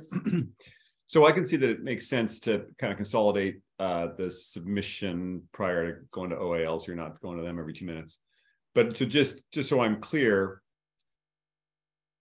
I mean, I think I think this is the case anyway. There's always a, every agenda has an item where board members can bring things up. But I guess my point, what I'd prefer, because you can't talk about stuff unless it's been agenda agendaed, right? I'd like to have an agenda item at every board meeting for rulemaking ideas by board members. Not that it necessarily will come up at every time, but I what I'm thinking of is you know, this is such a fast flowing um, area right now. And we all see things in the news which come up, and then you think, gosh, wow, you know, and so there's a the New York Times does a deep dive on six different things, or something comes up.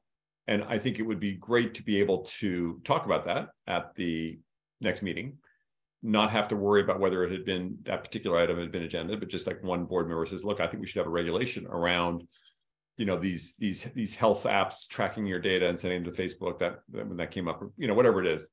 And um and then you could have a little bit of a real-time discussion of other people saying yeah we, think that's important and then staff hears okay that's that's it that's that's you know there's some there there. So I I I would I guess want to make sure that this and this kind of gets back to the previous thing about whether there's a committee but that there is an opportunity for board members to bring up ideas around rulemaking uh, at every meeting.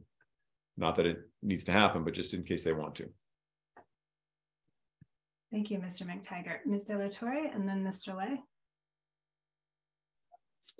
I will agree with Member Mactaggart that the best way to deal with any concerns about Bagley Keene is to have our conversations as part of um, the board meeting. Um, it seems to me that it will be more transparent for the public as well.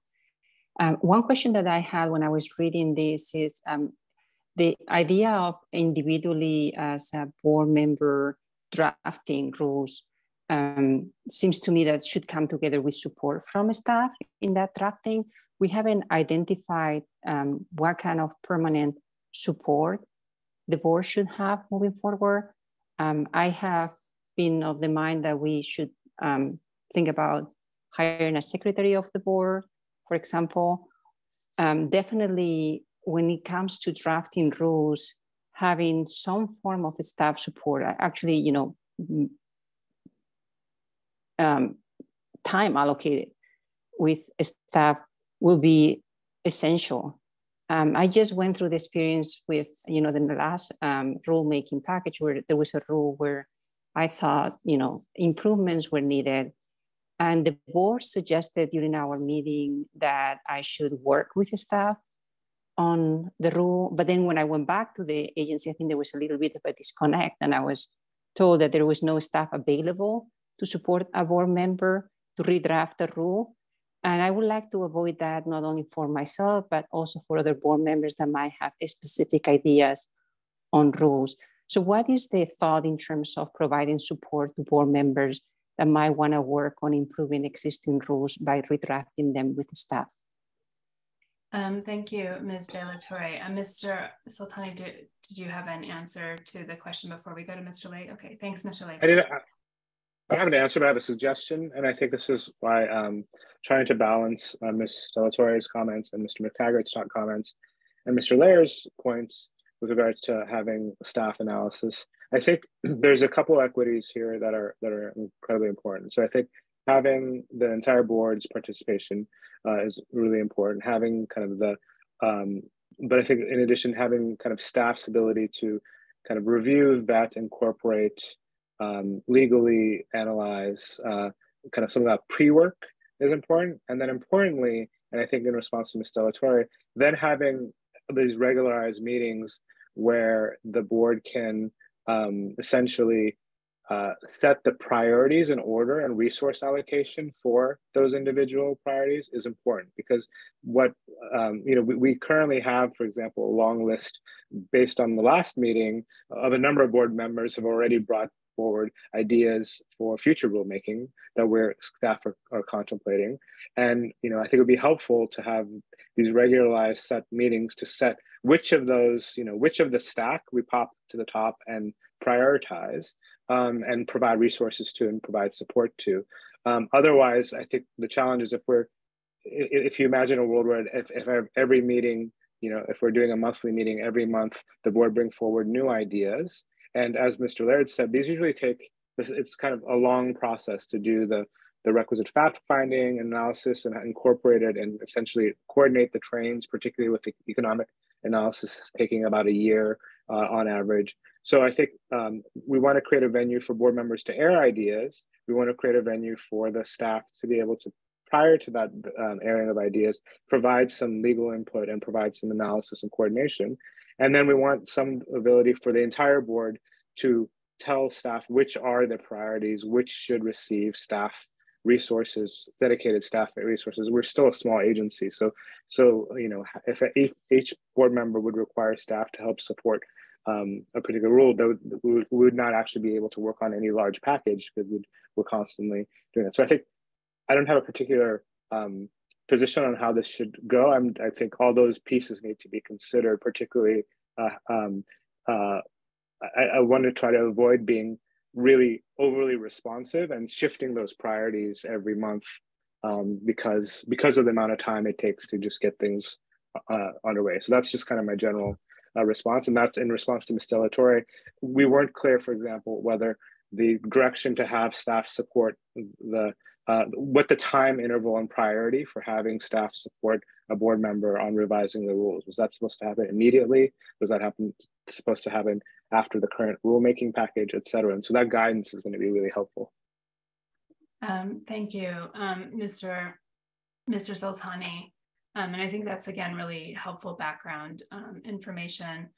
I'd like to hark back to something that Ms. De La Torre said earlier in the meeting, um, which is like always useful, is that part of the reason why um, I am quite supportive of this um, overall framework is because it does allow um, staff and their expertise to to help us basically, um, and I would generally um, I would generally like to um, help them as well by giving them what they need sort of on a, on a timeline that's reasonable and helps them keep moving us forward um, efficiently.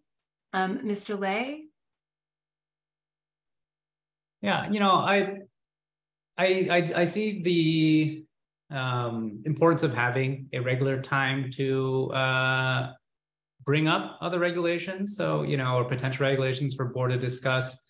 But, uh, you know, as Chair Urban mentioned, you know, I think limiting it to like for staff to have to respond to all of that to, you know, perhaps these predetermined times per year would be better. Um, you know, I I personally know what it's like to have uh, someone come in and and and you're working on a project and all of a sudden the priorities change and you know all of these things different happen. Just you know disrupting the workflow.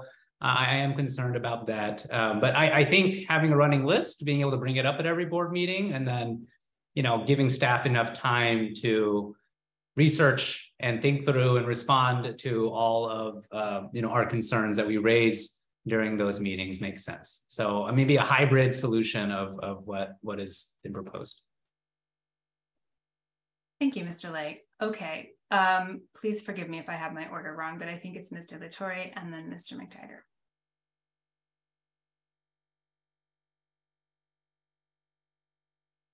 Can you unmute, Mr. De La Torre? I would say I'm happy to let Mr. Mactaggart go first as he has not had an opportunity to comment. Um, Mr. Mactaggart?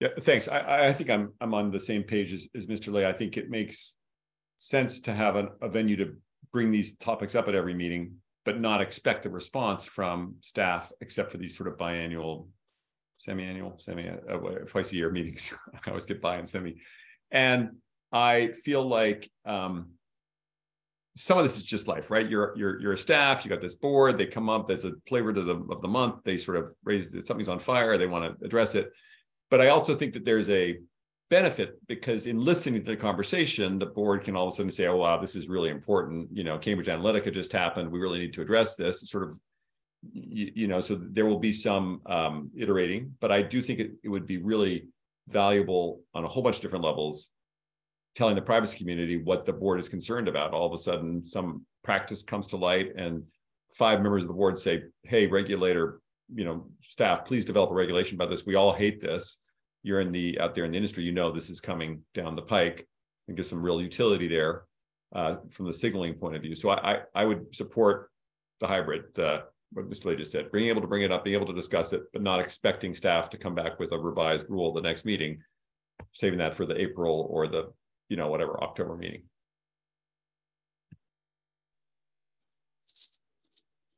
Right, I, Mr. Mactaggart, um, Ms. De La Torre? Yeah, I think that this needs um, careful consideration. I don't disagree with what Mr. Mactaggart um, and Mr. Le had uh, proposed. Um, I also think that there has to be some continuity to it for us to even, you know, set the priorities in a way that's a structure for for the agency. So if we're having like six conversations about what's going on on the news today, I, I, am not sure how you know, the agency can organize that, and our own priorities might might change. So, and, and I also hear what Mr. Soltani said about um, support from the, um, from the uh, staff to board members. And there's a difference, right? Like the, I, I don't, you know, I don't believe that any board member will abuse that support, um, to be honest. But if there's any concern that there could be too much of a request from um, the board members to um, the agency staff, then what, what is the threshold? Because to me, suggesting something in a meeting as a thought is very different from having had, you know, a probably 20 minute conversation with the board on a specific request for modifications that actually everybody agree were needed, and then actually drafting those. And I think that also from my perspective, perhaps because of my expertise, I know that I could be, okay, let me put this in a different way. I don't, I want to put this stuff in the best possible situation when they are presenting to us. And I think, for example, for that particular rule for 702, if I had been allowed to work with the staff, then I will not have been in a position where uh, I have to ask questions from the staff in the middle of a meeting that might make the staff uh, feel uncomfortable. If I can raise those and solve them before the new um, draft is proposed to the board, I think that I'm also placing the staff in a better in a better position because they will come with the suggested edit with my support, which of course, you know, as a board, you know, we can decide to um, implement or scratch. Um, so I think that there is a space for the more informal, but I think there's also a space for you know, a, a hands-on approach when a board member wants to actually take one particular rule and edit it um, and propose it to the board. I'm not saying that it will be, you know, a decision of the board member, but to me, on the other end of that, right, like I'm thinking about 702 because, 702 because um, my concerns around it. But on the on the other side, if um, you know a different member had um, a, an idea about drafting uh, or redrafting another rule, to me, it will be helpful to look at what is drafted right now and what's the red line that this board member supports and analyze that before I come to the board meeting so that I can decide whether I support the changes or not. I think that will have value for me as well. Um, the other thing that I'm a little concerned about this um, process is that biannual board meetings could be very, very long. Um, we already went through just one package, and I think we had two days, and we were trying to be really efficient. So I don't know that biannual board meetings on rulemaking um, priorities are going to be um, are going to give us enough time. And again, I'm not saying that they won't. I think that it just merits a little bit of careful consideration. Um, thank you very much, Ms. De La Torre. Um, if I could I don't think add to. I think Mr. Laird, you probably had some um, background information in response to Ms. De La Torre, but uh, clarify that uh, my understanding of the biannual board meetings was that it wouldn't be going through a specific package necessarily um, as we did in October, but more again, set, excuse me, um, setting priorities um, uh, more sort of at a higher level. So um, it wouldn't I agree. If we were going through every possible package, um, that could be an indefinite board meeting in theory, but um, I don't think that was the idea in the regularized meeting. Um, I also just wanted to, um, again, sort of pause and say what I'm hearing um, in the discussion. It helps me to say it out loud so I don't forget, you know, 10 minutes from now, um, which is I think that the board is collectively um, uh, very thoughtfully considering some various um, things that will have to be um, uh, weighed against each other, although they're not necessarily really in tension. Um, one is um, board input, um, robust and full board input on items that board members um, care about. Uh, one is an ability to be able to propose topics for rulemaking. One is being able to gain input and expertise from staff. At least I think that that is important. Um, and I heard that some in what Ms. De La Torre was saying as well. And um, one um, that is, um, I apologize, my cold is making me less than efficient. Um, um, and, and one that is in uh, being able to have the ability for staff to um, direct traffic in a way that we're not creating a big resource drain or um, changing priorities um, uh, in the moment. So I think I'm hearing uh, that everybody would like um, to have a rationalized approach that would um, have a um, a positive outcome and would take into consideration at least those things. Um, uh, and if you want to add, Ms. De La Torre, please go ahead. I apologize. Um, I didn't mean to like um, pause the flow so Mr. Laird could um, could respond um, uh, to your comment. No, that, that's okay. The only other thing that I wanted to add is that there could be situations where we again choose to create a subcommittee for particular updates. That is the case with other sister agencies that um, we have been in contact with. And I don't see that as um, considered in this proposal, but I think that we should consider that as a possibility. Thank you. Yes, this is the disentangling. I think it's in the other one, um, the subcommittee, the subcommittee one, the idea that a subject matter, you know, subcommittee looking at a particular rulemaking item. Oh my goodness, I am sorry about my voice. Um, so these would work in harmony, I guess, in concert. Um, Mr. Laird, you've been patient. Thank you. Yeah, thank you. I think there's been some excellent discussion. And I guess I just want to clarify a little bit more where I think I see some of the pieces fitting together with kind of the process we've proposed and what I've heard so far. Um, I mean, I think first and foremost, the you know everything starts with an idea. To Mr. Mactaggart's point, um, so um, maybe actually even I'll, just put aside because I, I don't have strong feelings one way or the other about the method that sort of ideas come from board members to staff, be it in a public meeting or be it privately.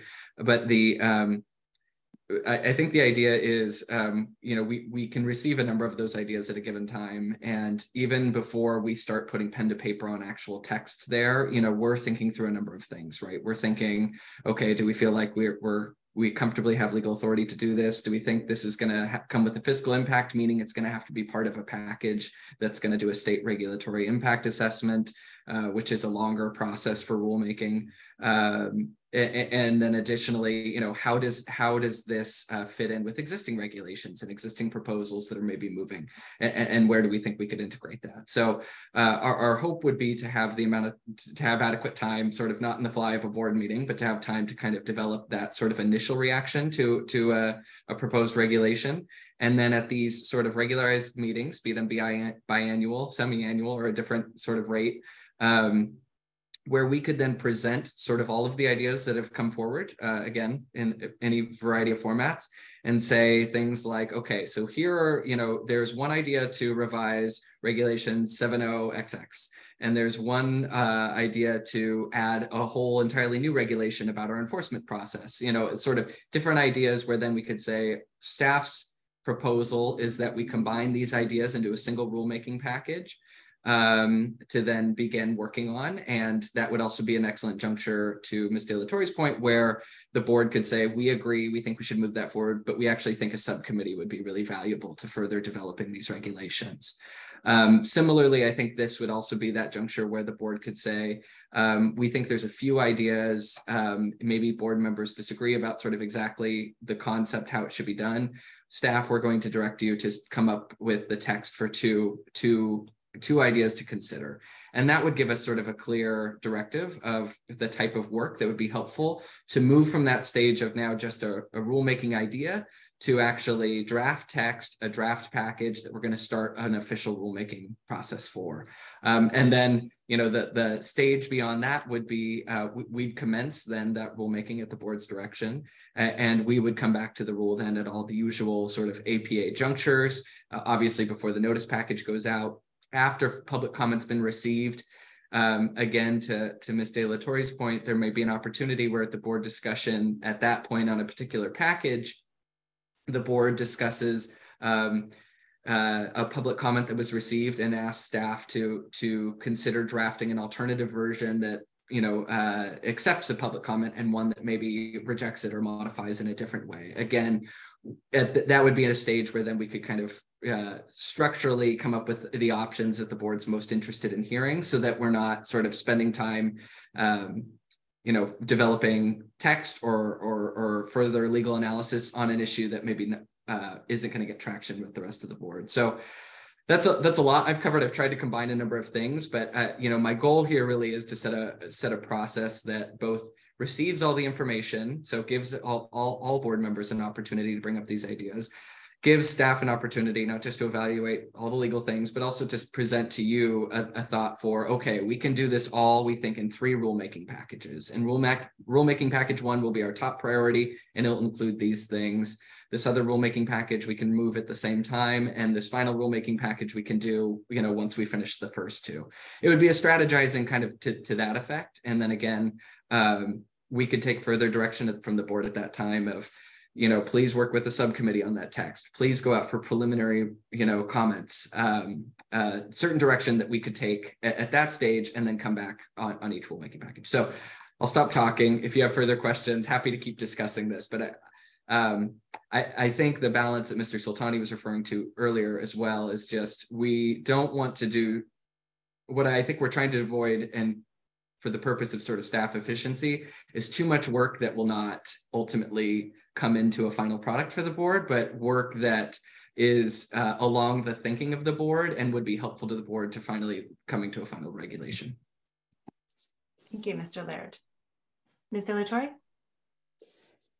Um, yes, a couple more things. Um, so the first one is, um, and I don't see it um, suggested here, but we did it in the prior package um, will we potentially bring experts to talk to the board, even to have a conversation with the board when there's any topic that uh, merits, you know, more information to the board um, or a discussion? Um, and I think that could be helpful. Um, I found it helpful when we did it for the uh, initial um, rulemaking and when we see, as Mr. Mactaggart was suggesting, something that comes in the press that we didn't anticipate, to have the benefit of bringing somebody beyond our staff that can be an expert and kind of help us understand more in depth the issues involved, um, can educate us and make us, you know, uh, generate better suggestions in terms of how we have to adapt our regulations. So um, that that was um, one thought, and then the other one is will we have opportunities to ask questions from the staff? Um, I, you know, I, I, actually have a number of questions that I would love to get answers from the staff, um, but I also want to put the staff in the best possible position to be thoughtful. I, I don't want to, I don't think that, um, uh, you know, an item on the agenda where I just come with my question and I throw it at Mr. Laird you know, it's, it's ideal. I think that uh, if we have a process where, you know, some board members can present those questions in a written form to the agency and maybe we can, you know, consolidate them in topics and have a day where we're talking about one topic.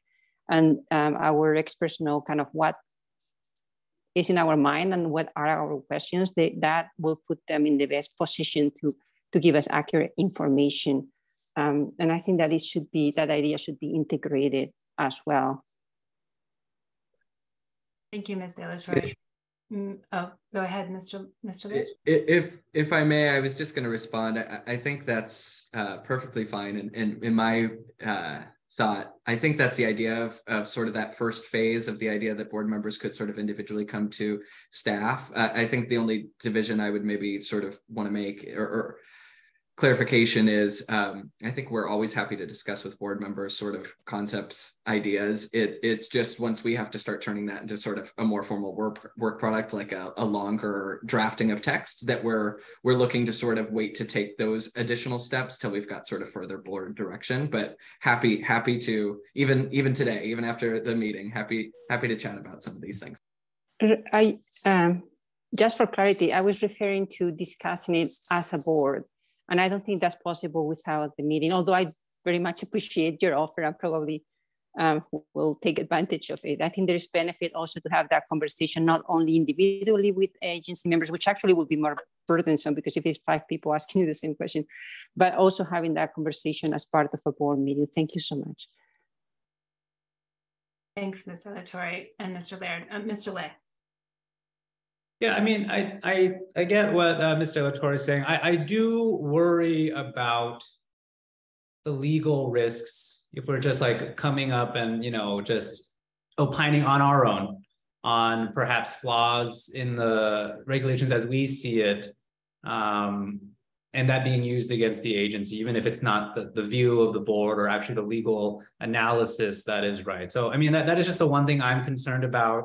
Um, I think board members should be able to bring it up. Uh, I just think, you know, maybe as perhaps like an informal rule is like, well, we, we tell staff first, give a heads up. So, you know, in case something like that happens, board members are advised by staff and by, you know, legal, uh, the, the possible consequences for our regulations for California uh, and our, our ability to enforce um, our rules um, don't get undermined by, you know, perhaps conversations that may be misconstrued by OAL, um, outside counsel, or, or other folks. Um, so that that is just my one concern with, you know, bringing up specific things like in that level and not letting staff um, have a look at it first. But I, I, do think, you know, the board should be able to bring up, at least in generalities, uh, concerns and things like that.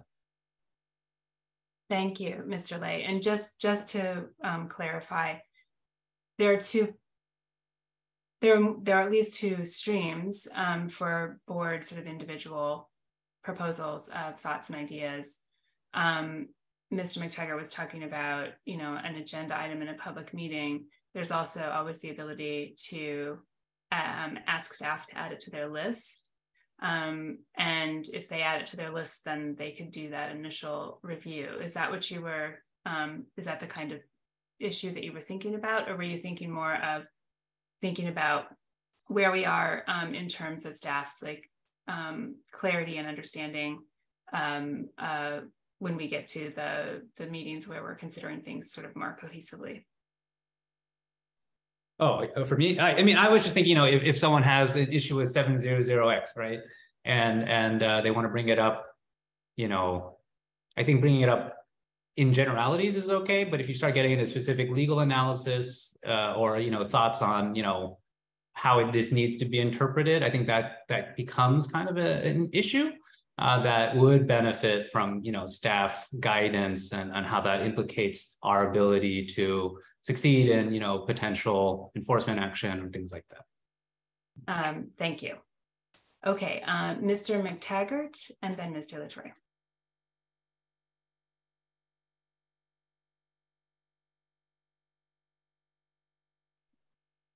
Yeah, I, I don't uh, disagree that that uh, you, you, know when you're bringing it up, you're not necessarily looking for a huge analysis right then and there.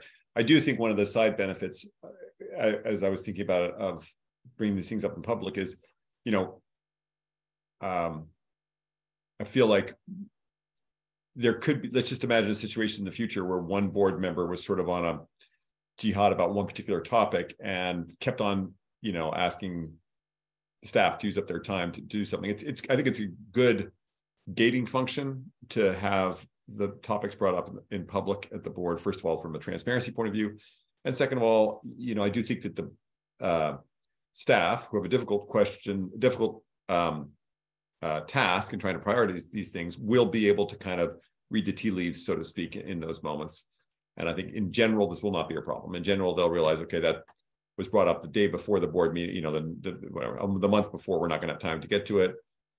Uh, and uh, it's not that critical versus, okay, we really do need to address this. So I'm just, uh, uh I, I think, I guess what I'm hearing is, I feel like there's consensus here.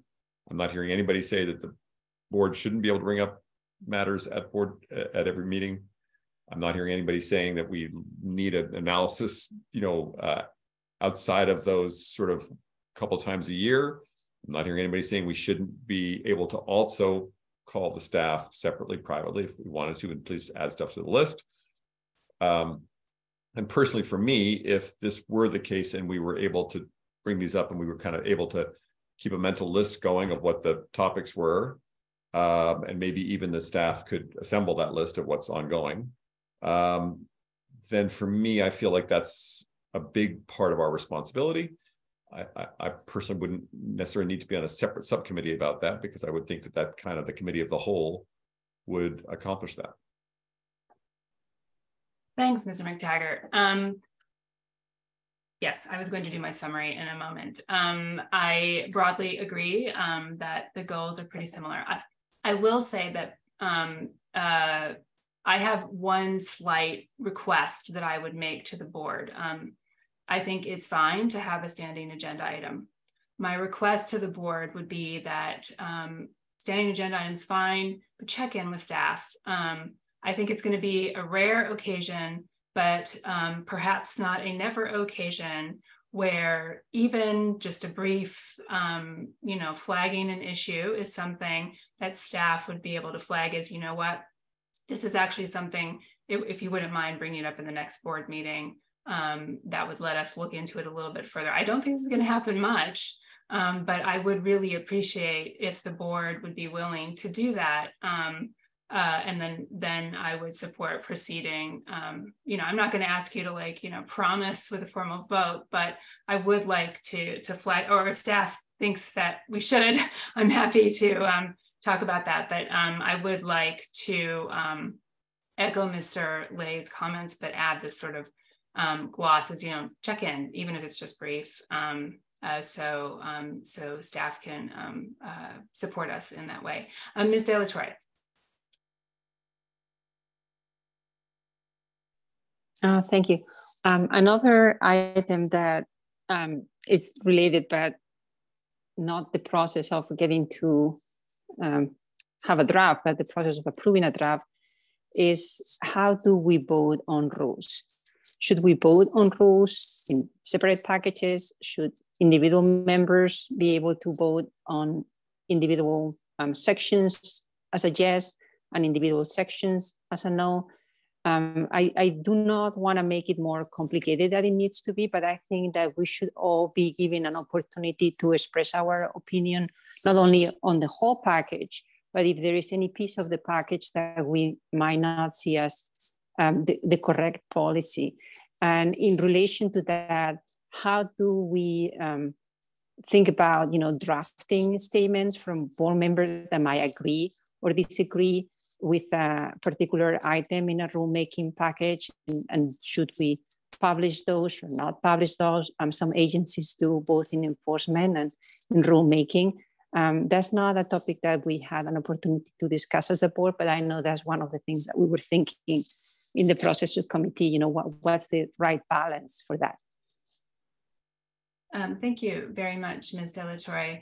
Um, so I want to just pause to say, I think what I'm hearing is broad um, consensus and support for the general parameters um, of the um, staff's um, proposal for some regularization with the understanding that Ms. De La Torre has cautioned us about level of detail and time.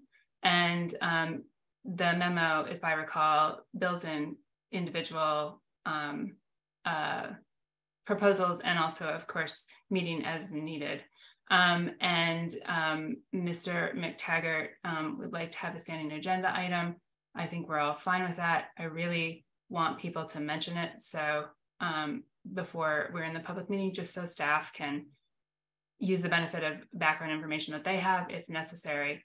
Um, and then Ms. De La Torre um, is moving into a slightly more detailed uh, analysis of when rulemaking packages come forward, um, which and how we choose to uh, discuss them, the you know the level of detail, um, and um, and sort of how we operate in terms of how we consider them. Um, and I think that is also an important conversation. Of course, it ties to like how long is the board? It ties to all of these other things. Um, my thought on that has been that it's likely to be, and I think we need to get as much experience as we can, um, a rather case by case basis, um, kind of depending on the package. So if we have a if we have a package that is a very sort of administrative procedure kind of package, um, that may be one thing. If we have a package with um, you know substance like we did the last time around maybe that's another thing so um, my um, sort of a pre preference at this moment understanding that we can always revisit um, would be um, to take it on a case by case basis and ask staff specifically um, to recommend to us like this is how we propose we, we suggest handling this and then of course as the board we could say hang on like I want to handle this um, uh, somewhat differently for this package. So that would be my suggestion. Um, Mr. Soltani. Thank you. Thank you, Chair, and, thank you for this discussion. I wanted um, just add one additional um, uh, perspective that I think might be helpful with regards to this concept of just checking in with staff, um, you know, on the proposed topics rulemaking, just even a heads up, um, or even these concepts of dissenting or concurring statements, et cetera, which is that, um, you know, as we move to enforcement, but even rulemaking, staff might be uh, actively working on exact issues, litigating issues, um, working with OAL to resolve issues on the very topics the board um, might bring up. And while we surely can't tell the board um, about ongoing enforcement activities, given the divide uh, as adjudic adjudicators, um, it, the heads up would allow us to perhaps be responsive if we're, say, in active litigation on a particular topic that's, you know, bringing enforcement action on a particular topic that the board is is flagging for dissent or, or, whatever it may be. So the heads up would be probably um, uh, very appreciated as we move, especially as we move into our enforcement function, but particularly even in as we're negotiating or working through issues with OAL or others. So just want to flag that, and then just a, a small. Uh, I'll just stop there. That's fine. Okay. Um, thank you, Mr. Soltani. Um, other other thoughts?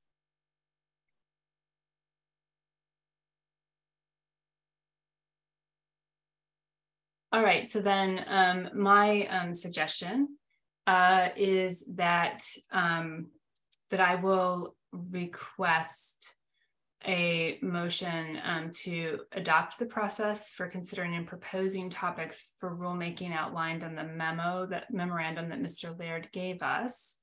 Um, and that we have the understanding that board members can, I mean, we don't need to vote on this, but let's just put it let's just make it clear that board members um, can propose and bring topics um, to staff um, as they occur. And also um, that we will have an agenda item um, uh, for, I'm going to say almost all board meetings or most board meetings, because sometimes we really need to focus a board meeting on sort of one thing. And sometimes, for example, I'll, I'll leave the boilerplate ones out, but at least most board meetings um, uh, that is sort of standing to check in on potential topics for rulemaking. Um, uh, and that like that, that we sort of adopt that plan um, with my plea to check in with staff and then circle back um, to the other discussion. So we can have the motion and circle back and then have public comments or do we need to have public? I'm sorry, Mr. Laird. Um, can we do all the motions together or do we have to do them separately because? Um, well, it, uh, if it were possible, I would recommend that we maybe try to at least conclude one of the um, okay. All right. agenda All right. items yeah. before we move back yeah. to the other. Yes, my main concern is always that we make sure that we have a robust public comment. So, Ms. De, oh, Mr. Soltani, I apologize. Did I miss something? Uh, no, just a quick clarification on the every meeting and why I think it might be important to give some discretion. As and and I'll kick it to Mr. Laird to clarify, but um, if we have an emergency meeting or a special meeting, oh yeah, I'm not sure we can do it at those meetings. No. So just yeah. yeah. Yes, I mean, I I think the board will understand the the parameters like that, but I did want to make sure um, of that. Um, Ms. De La Torre? Just as a reminder, the other piece of this was how often do we meet, and we should bring that into the conversation. Did we settle on monthly? Uh, what, what are we? You mean overall, or do you mean on rulemaking? Uh, I think the conversation was overall how many times the board meets. So we're assuming that in every meeting or most meetings, we will have at least some time dedicated to this. Mm. Um, yes, thank you. Um, so that was not specifically on the agenda as sort of a holistic thing. What I had um, said at the top of the meeting, and then um, while we were talking about um, subcommittees as well, I think, um, is that the hope is that with these components, um, staff will work on, and I'll be able to um, bring to you very soon. I mean, I, I think we have a lot of components here in place, legislation, um, a budget. Um, we're working here on rulemaking, which are some of the biggest things. And we know from our previous discussion that we'll be um, uh, adding in um, public awareness um, for us to discuss like as an overall plan. Um, and I've taken in uh, input with regards to broadly how much and consideration. So this would be a component of that, but not like the whole the whole meeting plan overall, if that makes sense, Ms. De La Torre a question, follow up question on that. So is there like a general indication that can be provided of we'll aiming at meeting every two months or every month or there's no indication? And then the second one is for future meetings, will it be possible to circulate the agenda before it's published and allow members to suggest items for every meeting? Um, that I think will be also helpful. Um, two members should be able to suggest an agenda item that has been agenda that, that has to be agendized because two members can propose um, anything for both. So I, I know that that's taking it into a different direction, but uh, at least an indication of how often do we meet will be helpful. Um, thank, thank you, Ms. De La Torre. Um, my hesitation is not in any of the substance or anything you're saying. It's twofold. One is that we make sure that we are sticking to this agenda. Um, and secondly, that um, staff have the opportunity to put together um, the idea for us to talk about. Um, it will, I'm sure, be informed by our discussion today. And I heard a number of things in our discussion today that I will be sure to work with staff on. One is um, from Mr. Mactaggart, um, probably um, his sort of sense of things is that a frequency of more than quarterly meetings um, is likely to be necessary. I should say, you know, even if the set items work out to quarterly, I, I certainly don't disagree with that. Um, there is um, your observation, Ms. De La Torre, that fewer topics can equal shorter meetings and meeting length is also a consideration. Um, so the longer we go between meetings, you know, maybe the more the agenda um, stacks up. Um, there's also staff brought up the consideration that we will not be able to meet over Zoom um, quite soon. So um, I would like their, I would like them to help us sort of see like how that might factor in um, uh, and um, uh, and sort of put it all together. So I think we're basically ready to put together an idea. I just um, am hesitant both because we need to stick to this agenda item and because I want to be sure staff have a chance to to um, have input on putting everything together, if that makes sense. but for these for, for this topic and these meetings, um, there is a plan in the memo from Phil, which would fit in with all the others. Mr. Mactaggart. Hi there. I think that um, I, I do actually think that the frequency does tie into this agenda item because it's kind of part and parcel. I think at least I'm, I'm thinking it in my mind, and I think if I'm if I'm listening to Mr. Torre also in her mind, again, just to, to be absurd, if you had a meeting every two years, that would argue differently about the rulemaking than if you're having one every week. Um, so one way might be to do it um, uh, is to so that so I want to talk about that frequency or tie that in, and then the other thing is I, just to kind of go back to that point that Mr. Soltani was making. I think it's personally, I would support fine if it's a special meeting or an emergency meeting and you, and you don't have the right to add it to, that's fine. But I've really never been on a board where there wasn't a general agenda item at the end for uh, any other business that a board member wanted to, to, to raise with the understanding that you, you know you can't necessarily talk about it at that meeting but it's you know you're bringing it up so i would i would like to i would like to suggest that i, I would like it you know this this notion that board members can bring, bring items up um, be on every be, be at every board meeting. Um, uh, Mr. Mactaggart, there is an agenda item on almost every agenda for board members to bring up agenda items for future meetings. Um, and that is a standing item. Um, and so my understanding was that you were proposing an additional standing item that was focused directly on rulemaking um, uh, ideas we could just as easily do that under the proposal for future agenda items because it's something that would come up on a future agenda. So, you know, a future agenda item could be um, I um, I would like to put on the list of future agenda items X or Y or Z topics for potential rulemaking. So we could do it under our standing item, or we could add another standing item, which I understood that you were asking for. I'm as to the legalities of whether it's a separate agenda item or this item. I just want uh, to. I just was responding uh, to the the, I just would like it to make, for me anyway, personally, it's a priority to be able to have that flexibility as a board member to bring up uh, the item, which could be uh, rulemaking. And then just with respect to the frequency, I mean, I know it's sort of like throwing darts uh, at this point because who knows what the what the future will bring. But I, I, I would suggest that we, if if we set a minimum, sort of like no no, we're gonna have at least six meetings a year or something like that.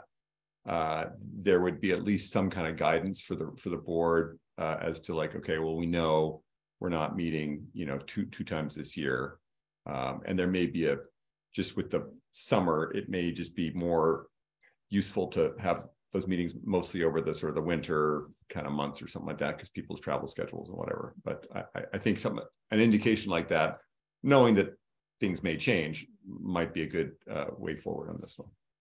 Thank you, Mr. Mactaggart. Once again, um, I just want to be sure we stick within our agenda. And I wonder, Mr. Laird, if talking about overall um, uh, meeting schedule could work under the future agenda items as well. Um, with regards to the rulemaking versus anything else, Mr. Mactaggart, I don't think there's a legal difference. Um, I understood you to be wanting to have sort of almost a, a messaging um, uh, uh, component, you know, to the agenda which is why we would run through um, rulemaking specifically every time. I do not have any kind of a strong opinion on this. Um, my um, feeling about the overall meeting schedule is whatever, whenever Mr. Laird tells us we can talk about it, we can, and I can share um, my thoughts about that now. I will just point out that we are meeting every month, um, and we have been um, for quite a while. Um, uh, and like that's been our usual cadence. Okay, um, Mr. Le and then Mr. Ms. De La Torre. Oh yeah, I, I was just going to say that that point is is we've been meeting every month. Um, I assume at minimum it'll be quarterly, uh, and, and, you know I don't think things will change until you know our workload decreases. Thank you, um, Ms. De La Torre. Um, I, I have a suggestion that could uh, help because this is um, the conversation has been going on for a while and we have made some comments that um, in a way have modified um, what's in the memo. So I was wondering if it will make sense to have um, the process of committee exists for one more meeting from this meeting to the next. And then may, maybe uh, Chairperson Urban and I could work together on, you know, looking at this memo. If there are any modifications, I think that um, there is no reference to the um, adding of the agenda item to all of the meetings. So, so if we could um, ad adapt it to account for this conversation and bring it back in the next meeting for approval, it might just be a, cleaner way of doing it uh, because I, you know, I'm seeing we have a chair that is very experienced in trying to summarize our thoughts, but the conversation has been going on for a, for a long time. I think that will also give us an opportunity to give an update on the other two items that have been assigned to that subcommittee, and we can just wrap this up um, more cleanly if we if we do so. Um, thank you, Ms. De La Torre. I so I I think that this is a very sensible proposal for a few reasons. One is the board I think is very um, carefully and diligently trying to uh, fit together a bunch of different things, some of which we can talk about easily under the agenda, some of which we can't, some of which we need some staff input, some of which we don't. Um, and um, if you know the board will, um, if the board, um, I'm going to have to recall the other agenda item. So for this agenda item, then um, I think Ms. De La Torre's um, suggestion is quite sensible. Um, so we could just hold it over briefly, and that means we don't need to do a motion on this agenda item. Then we'll recall the other one and discuss process subcommittee and the items that Ms. De La Torre brought up about working all of that through. Um, but I think that this makes a lot of good sense and it will allow for a discussion of a concrete um, uh, idea for, you know, frequency of meetings, among other things. Um, Mr. Laird, is that an acceptable approach? Absolutely, yes. Okay, great. Um, does anybody have a burning desire to do a motion and a vote? And it's okay. I shouldn't have phrased it that way. Neutrally, of course, if you'd like to do a motion or a vote, that's just fine. Um, I wasn't hearing that though. Okay, um, so then we will take public comment um, if we have any. Mr. Sabo, um, would you um, please um, invite the public uh, to comment if they would like? Yes, I am seeing one hand raised, Lane Williams.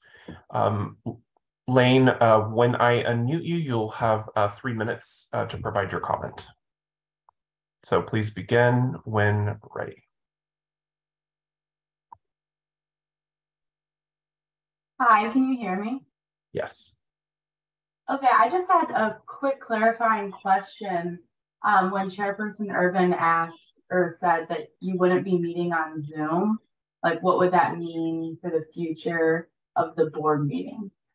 And why are you not meeting on Zoom anymore? Thank you very much. Um, Mr. Laird, um, we didn't offer an explanation. Would you like to? Yes, I'm happy to. So um, uh, under the Bagley-Keene requirements currently, um, certain provisions have been waived in the existing law that allow for an exclusively virtual meeting like we've been holding. Uh, those provisions, however, are set to expire or to sunset in, on June 30th of this year. So beginning July 1st, uh, many of the sort of pre-COVID, pre-pandemic um, Bagley-Keene requirements will go back to into effect, including a requirement that um, the board at least convene in a physical location. Um, I'll just add, uh, I know our executive director has hinted at the thought that um, staff is considering, you know, still uh, making the option of a hybrid meeting, but uh, strictly speaking, uh, the Bagley-Keene requirements beginning July 1st will be that the board hold uh, meetings um, in a public location physically, where they're all present in one location, and that is where um, the public can can attend to participate. Uh, but again, there's the, uh, I think staff is exploring the option for um, having a hybrid meeting as well. Thank you very much, Mr. Laird. Um, Mr. Sabo, is there further um, public comment? And I do want to thank um, Ms. Williams for um, the clarifying question. I think we've been working within Bagley Keene and the executive order um, for so long, it's easy to forget that we're saying things that don't necessarily make sense to everybody else. Um, if you'd like to make a comment, please raise your hand using Zoom's raise hand feature or by pressing star nine if you're joining by phone.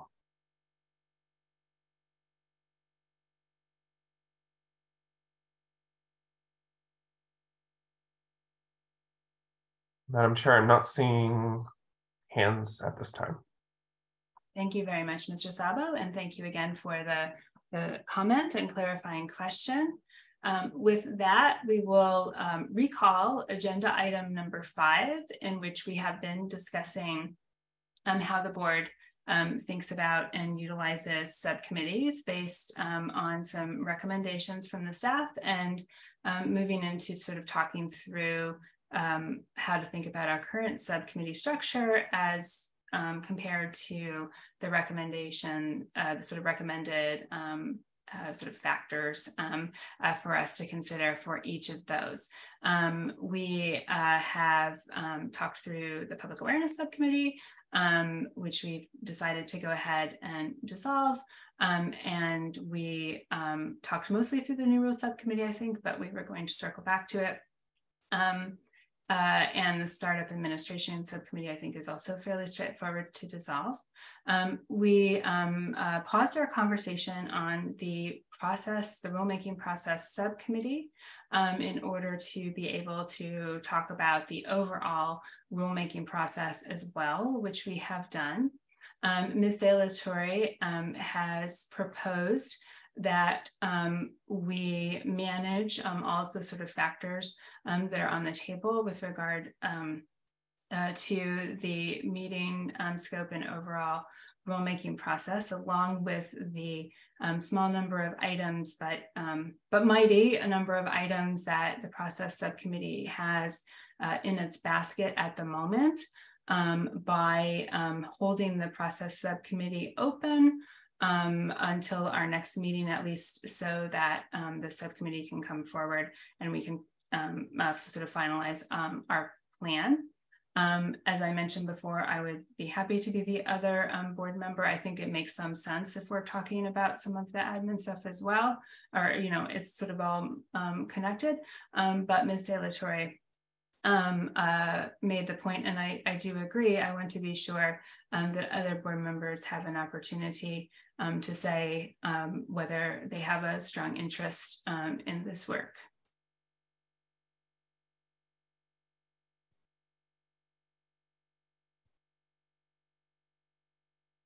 Wait, doesn't everybody love process? Isn't everybody's favorite thing process? um, just the lawyers? Um, all right. Um, so uh, um, given that, let's expand the conversation a little bit if we could um, to um, Ms. De La Torre's sort of idea overall. Um, is there um, support um, for um, for that um, uh, for that approach, other than me, or comments or questions?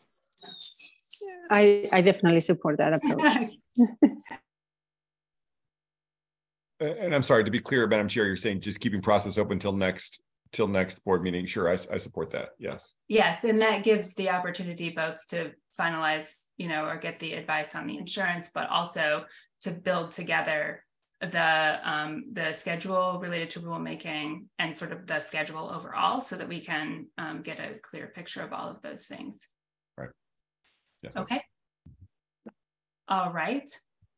Um, New Rule Subcommittee, I think um, everyone was in agreement, has substantive work ongoing. Um, the subcommittee was willing um, to continue devoting um, their resources to it. And I should pause here and say again, thank you for that. That is always a consideration. Um, it's a volunteer board. Um, and in addition to our interest, which we all have our interest uh, in these matters, there's also the fact that we do realize that um, you're doing work um, for the board and the agency. So thank you, Ms. Le and Ms. De La Torre for working on that. Um, and um, I believe that the new rules subcommittee is expected um, to request an agenda item at some point um, when you're ready, probably relatively soon, that with regards to the next step on potential rules. And we expect that we will be able to see a good plan for when temporarily it would make sense to dissolve that subcommittee at that time. Um, the um, CCPA update rules subcommittee um, uh, was Ms. Sierra and myself, um, and it has uh, the package that is with um, the Office of Administrative Law right now incorporates a lot of that subcommittee's immediate work. Um, there is, you know, a theory that a subcommittee that is more standing to be available to sort of shift through work to update regulations is that would be one way to do it. Um, uh, as the remaining member of that subcommittee, um, thinking through the recommendation um, from Mr. Laird with regards to um, kind of um, probably the most straightforward ways to think about subcommittees and my own and I believe advice um, with regards to Bagley Keene. Um, I think that having the package out is a good point now to have to dissolve that subcommittee. Um, I believe that is the subcommittees. Um, so I'd like to open up for further comments on, on any of those. Yes, Ms. De La Torre. Um, no, I don't have comments. I was just assuming that we might need to put at least on the dissolution of the. Yes, I just wanted to give okay. a chance um, to weigh in um, on that summary and run through of what we might dissolve and whatnot. Okay. Um, in that case, um, let me see if I can keep them all straight.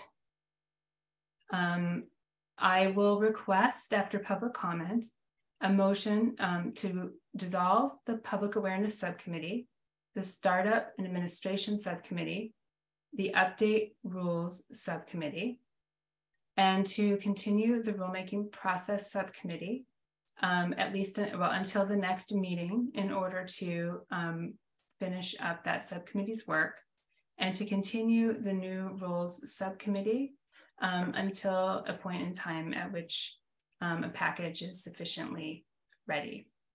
So that um, I, think summarizes it appropriately. And um, while we ask for public comment, Mr. Laird can tell me if um, uh, can think about whether I missed anything um, that I needed to do uh, in order for the motion to be appropriate. Mr. Um, Sabo, would you mind asking if anyone in the public has a comment? Yes, this is for agenda item five. Uh, if you'd like to make a comment, please raise your hand using Zoom's raised hand feature or by pressing star nine on your phone. This is for the board item um, on subcommittees. Again, that's the Zoom raise hand feature or pressing star nine on your phone. I'm not seeing any hands at this time. Thank you very much, um, Mr. Sabo. Um, in that case, um, may I have a motion as stated um, in order to, um, oh, sorry, you know, Mr. Lid, should I restate it? I think you're fine to refer back to the motion you made earlier. Okay, wonderful. May I have a motion um, uh, as stated um, in the last five minutes um, uh, for us to manage our subcommittee use? I move. I can Thank you, Ms. De La Torre. May I have a second? I can second. Thank you, um, Mr. Le. Um, Mr. Sabo, would you please call the roll call vote? Yes, this is the motion as stated by the chair for agenda item five. Uh, Board Member De La Torre, Aye. De La Torre, aye. Board Member Le, Aye. Le, aye. Board Member Mactaggart, Aye. Mactaggart, aye. Chair Urban, Aye. Urban, aye. You have four ayes and no nos. Thank you, Mr. Sabo. Uh, the motion carries with a vote of four to zero. I thank the board for its careful consideration of this topic. Um, and um, uh, and we'll we'll work with staff and Ms. De La Torre and I will work with staff um, to to effectuate um, what we have decided here. Um, we should also um, uh, consider a motion uh, to um, adopt the outlines of the board's recommendations um, uh, uh, for this agenda item today, excuse me, the staff's recommendations for this agenda item today, which includes the sort of factors to consider. Um, I apologize, I should have put that out and called for public comment um, on both of them together. Um, but I believe that um, uh, the um, motion would be, um, uh, may I have a motion to adopt the recommended practices for utilizing subcommittees of the board outlined in the memorandum provided by Mr. Laird for our discussion today. And I think we could fairly add taking into account uh, any sort of details from, from our discussion today. Um, uh, and that would be, you know, those just sort of looking at these factors as we're making decisions about subcommittees. Um, Ms. De La Torre? Um, if you're, um, if the chairperson is calling a vote, I would prefer to have an edited version of the memo that we can vote on if there have been modifications based on our conversation. I don't know that we need to vote on it, but if we're voting on a document, I would prefer to see the final document. Thank you, Ms. De Um, I don't think there were modifications to just the general factors. Um, Mr. Laird, though, um, do you disagree? It is entirely possible that I have missed something. Um, I think to the to the extent the board would be voting to essentially adopt what I call a rubric, which are just those three factors in the recommendation section, as sort of being the guiding principle for subcommittee adoption, maintenance, or or um, disbandment in the future. I think it would be fine to just reference that, of course. But if there's something, I, am not aware of anything sort of that's changed about sort of the underlying concept. So, but if there's something I'm missing, happy happy to take alternative direction. And I'm happy to edit out um, my addendum about our conversation um, to make it as clean as possible, Ms. De La Torre. Uh, and I'm happy to, you know, generally approve, but if we're voting on a document, we should have a final version of that document in front of us. That's, I think, will be best practice. Um, thank you, Ms. De La Torre. Um, so let me just restate, um, just so we um, have um, clear statement, which would be um, a motion to adopt the recommended practices for utilizing subcommittees of the board outlined in the memorandum provided today by Mr. Laird. Um, and so I will leave that there for the moment. And again, ask Mr. Sabo if you would mind um, inviting public comment. Uh, we are on agenda item I believe five, just to double check. Uh, with respect to the staff recommendations, if you'd like to speak on agenda item five, uh, please raise your hand using Zoom's raise hand feature uh, or by pressing star nine if you're joining us by phone. This is for the staff recommendation on agenda item five, uh, board subcommittees. Again, if you'd like to speak, please raise your hand using Zoom's raise hand feature or by pressing star nine on your phone. And I'm not seeing any hands raised. Thank you very much, Mr. Sabo. Um, in that case, um, may I have a motion as stated? I can, I'll make the motion. I so Thank move. you. Motion from Mr. Le. May I have a second?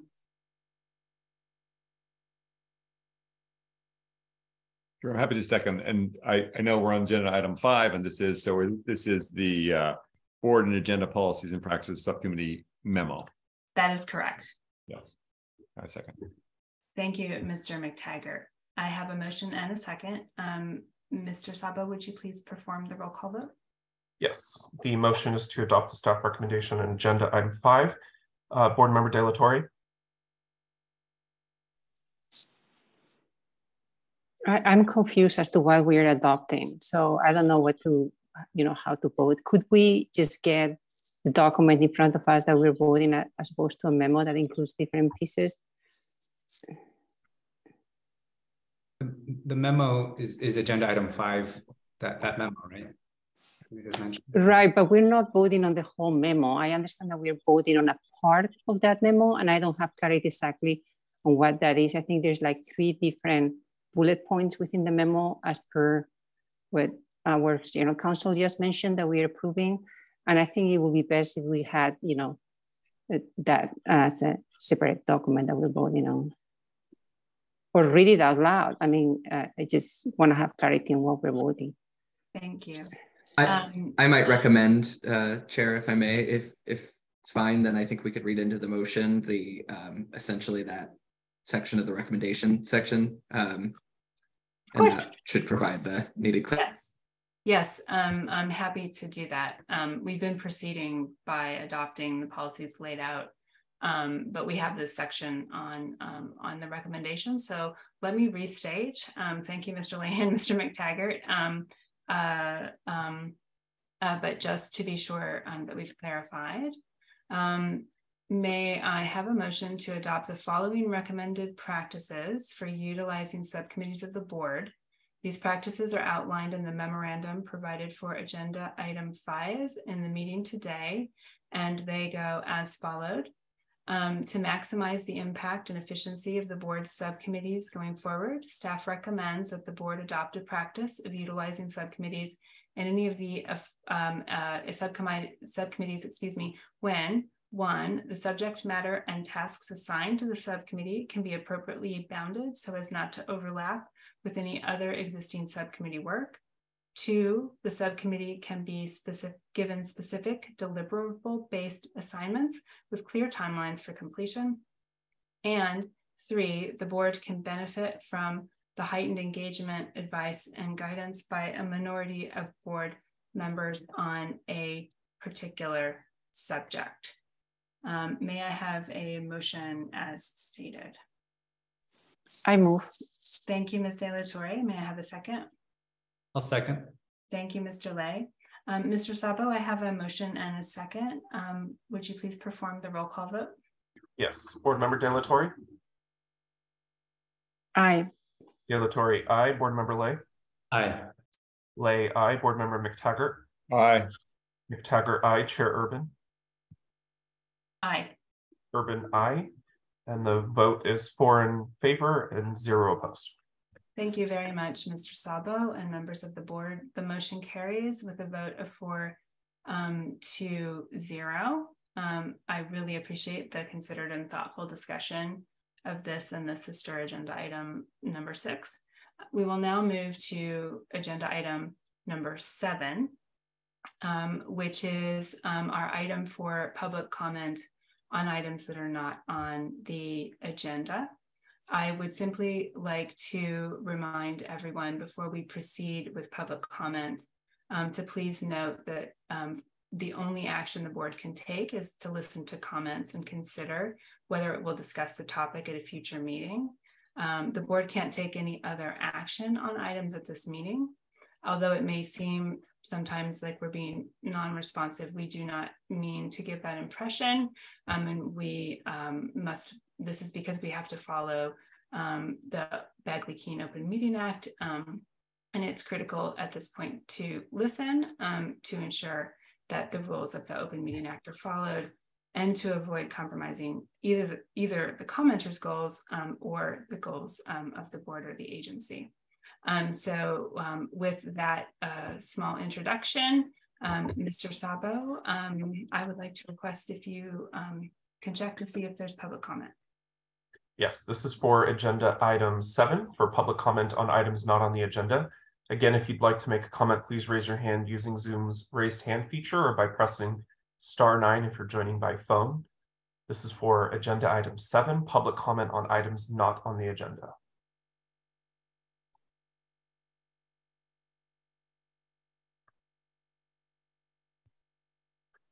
Again, you can raise your hand using Zoom's raise hand feature or by pressing star nine on your phone.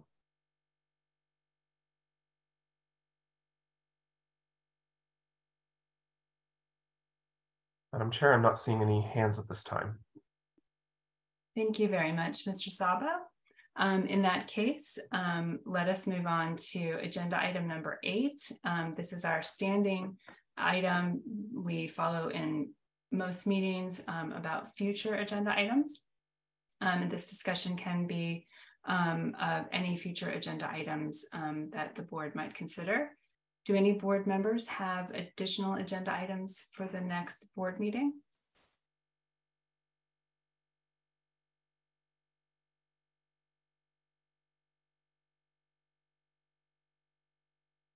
All right. Um, is there public comment from those in the audience regarding this item on um, future agenda items? This is for agenda item eight, future agenda items. If you'd like to make a comment, please raise your hand at this time. You can use Zoom's raised hand feature, or you can press star nine if you're joining us by phone today. Again, this is for agenda item eight, future agenda items.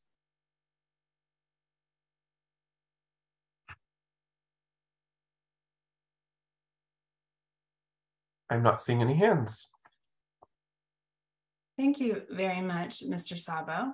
Um, let us then move to um, agenda item number nine, which is a closed session for discussion of the executive director's annual review, um, closed under authority of government code section 11126, subdivision A, paragraph one. Um, this is our last remaining agenda item before agenda item 10, which is adjournment. And I just wanted to give the public um, a sense of process so everyone can decide whether they would like to stay and wait for us to come back um, to adjourn um, or not. This is why we do this at the end sometimes um, so people can make a good decision. The board will um, leave the, this Zoom um, to repair to our closed session meeting. This Zoom meeting will remain open and you're welcome to stay.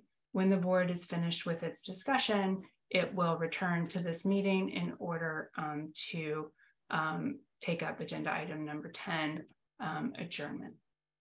Um, is there public comment from those in the audience on this agenda item before we go into the closed session?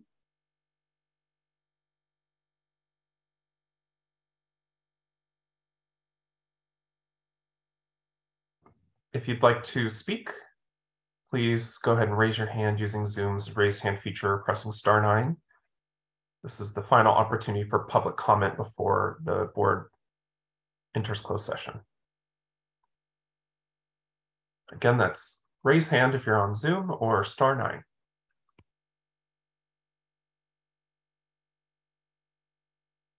I'm not seeing any hands. Thank you very much, Mr. Sabo. And in case there's anyone who doesn't want to wait, um, let me take the opportunity to thank everyone for their attendance um, and any input they gave today. Um, oh, Mr. Soltani, are you asking? To, okay, um, you just moved. I was coughing. Sorry, oh, excuse me. Okay, yes, I'm aware, I'm familiar with coughing at the moment. Um, so with that, um, I'd like to ask the board members to please move to the Zoom meeting established for the closed session discussion of this agenda item. It takes a little, um, uh, just a little bit to set up. So um, if you wouldn't mind, um, can we plan to begin um, that part of the meeting at 345?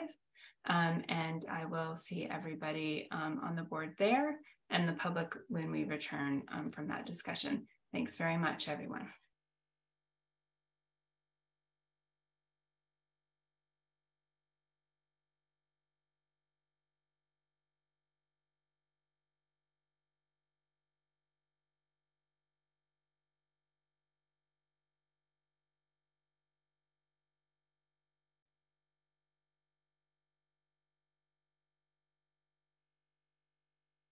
Uh, thanks to everyone. Um, the board is now returning from its closed session uh, agenda item discussion. Our final agenda item is agenda item number 10, adjournment. I would like to again thank everybody, board members, um, staff, um, and members of the public for all of your contributions to the meeting today um, and to the boards and the agency's work. Uh, may I have a motion to adjourn the meeting? I move. Thank you. Ms. De La Torre has moved. May I have a second? I will second. Thank you. I have a motion to adjourn the meeting from Ms. De La Torre and a second from Mr. Le. Um, do we have any comments from members of the public? Members of the public, this is on the motion to adjourn. If you'd like to speak on this, please raise your hand using Zoom's raise hand feature or by pressing star nine on your phone. This is on the motion to adjourn.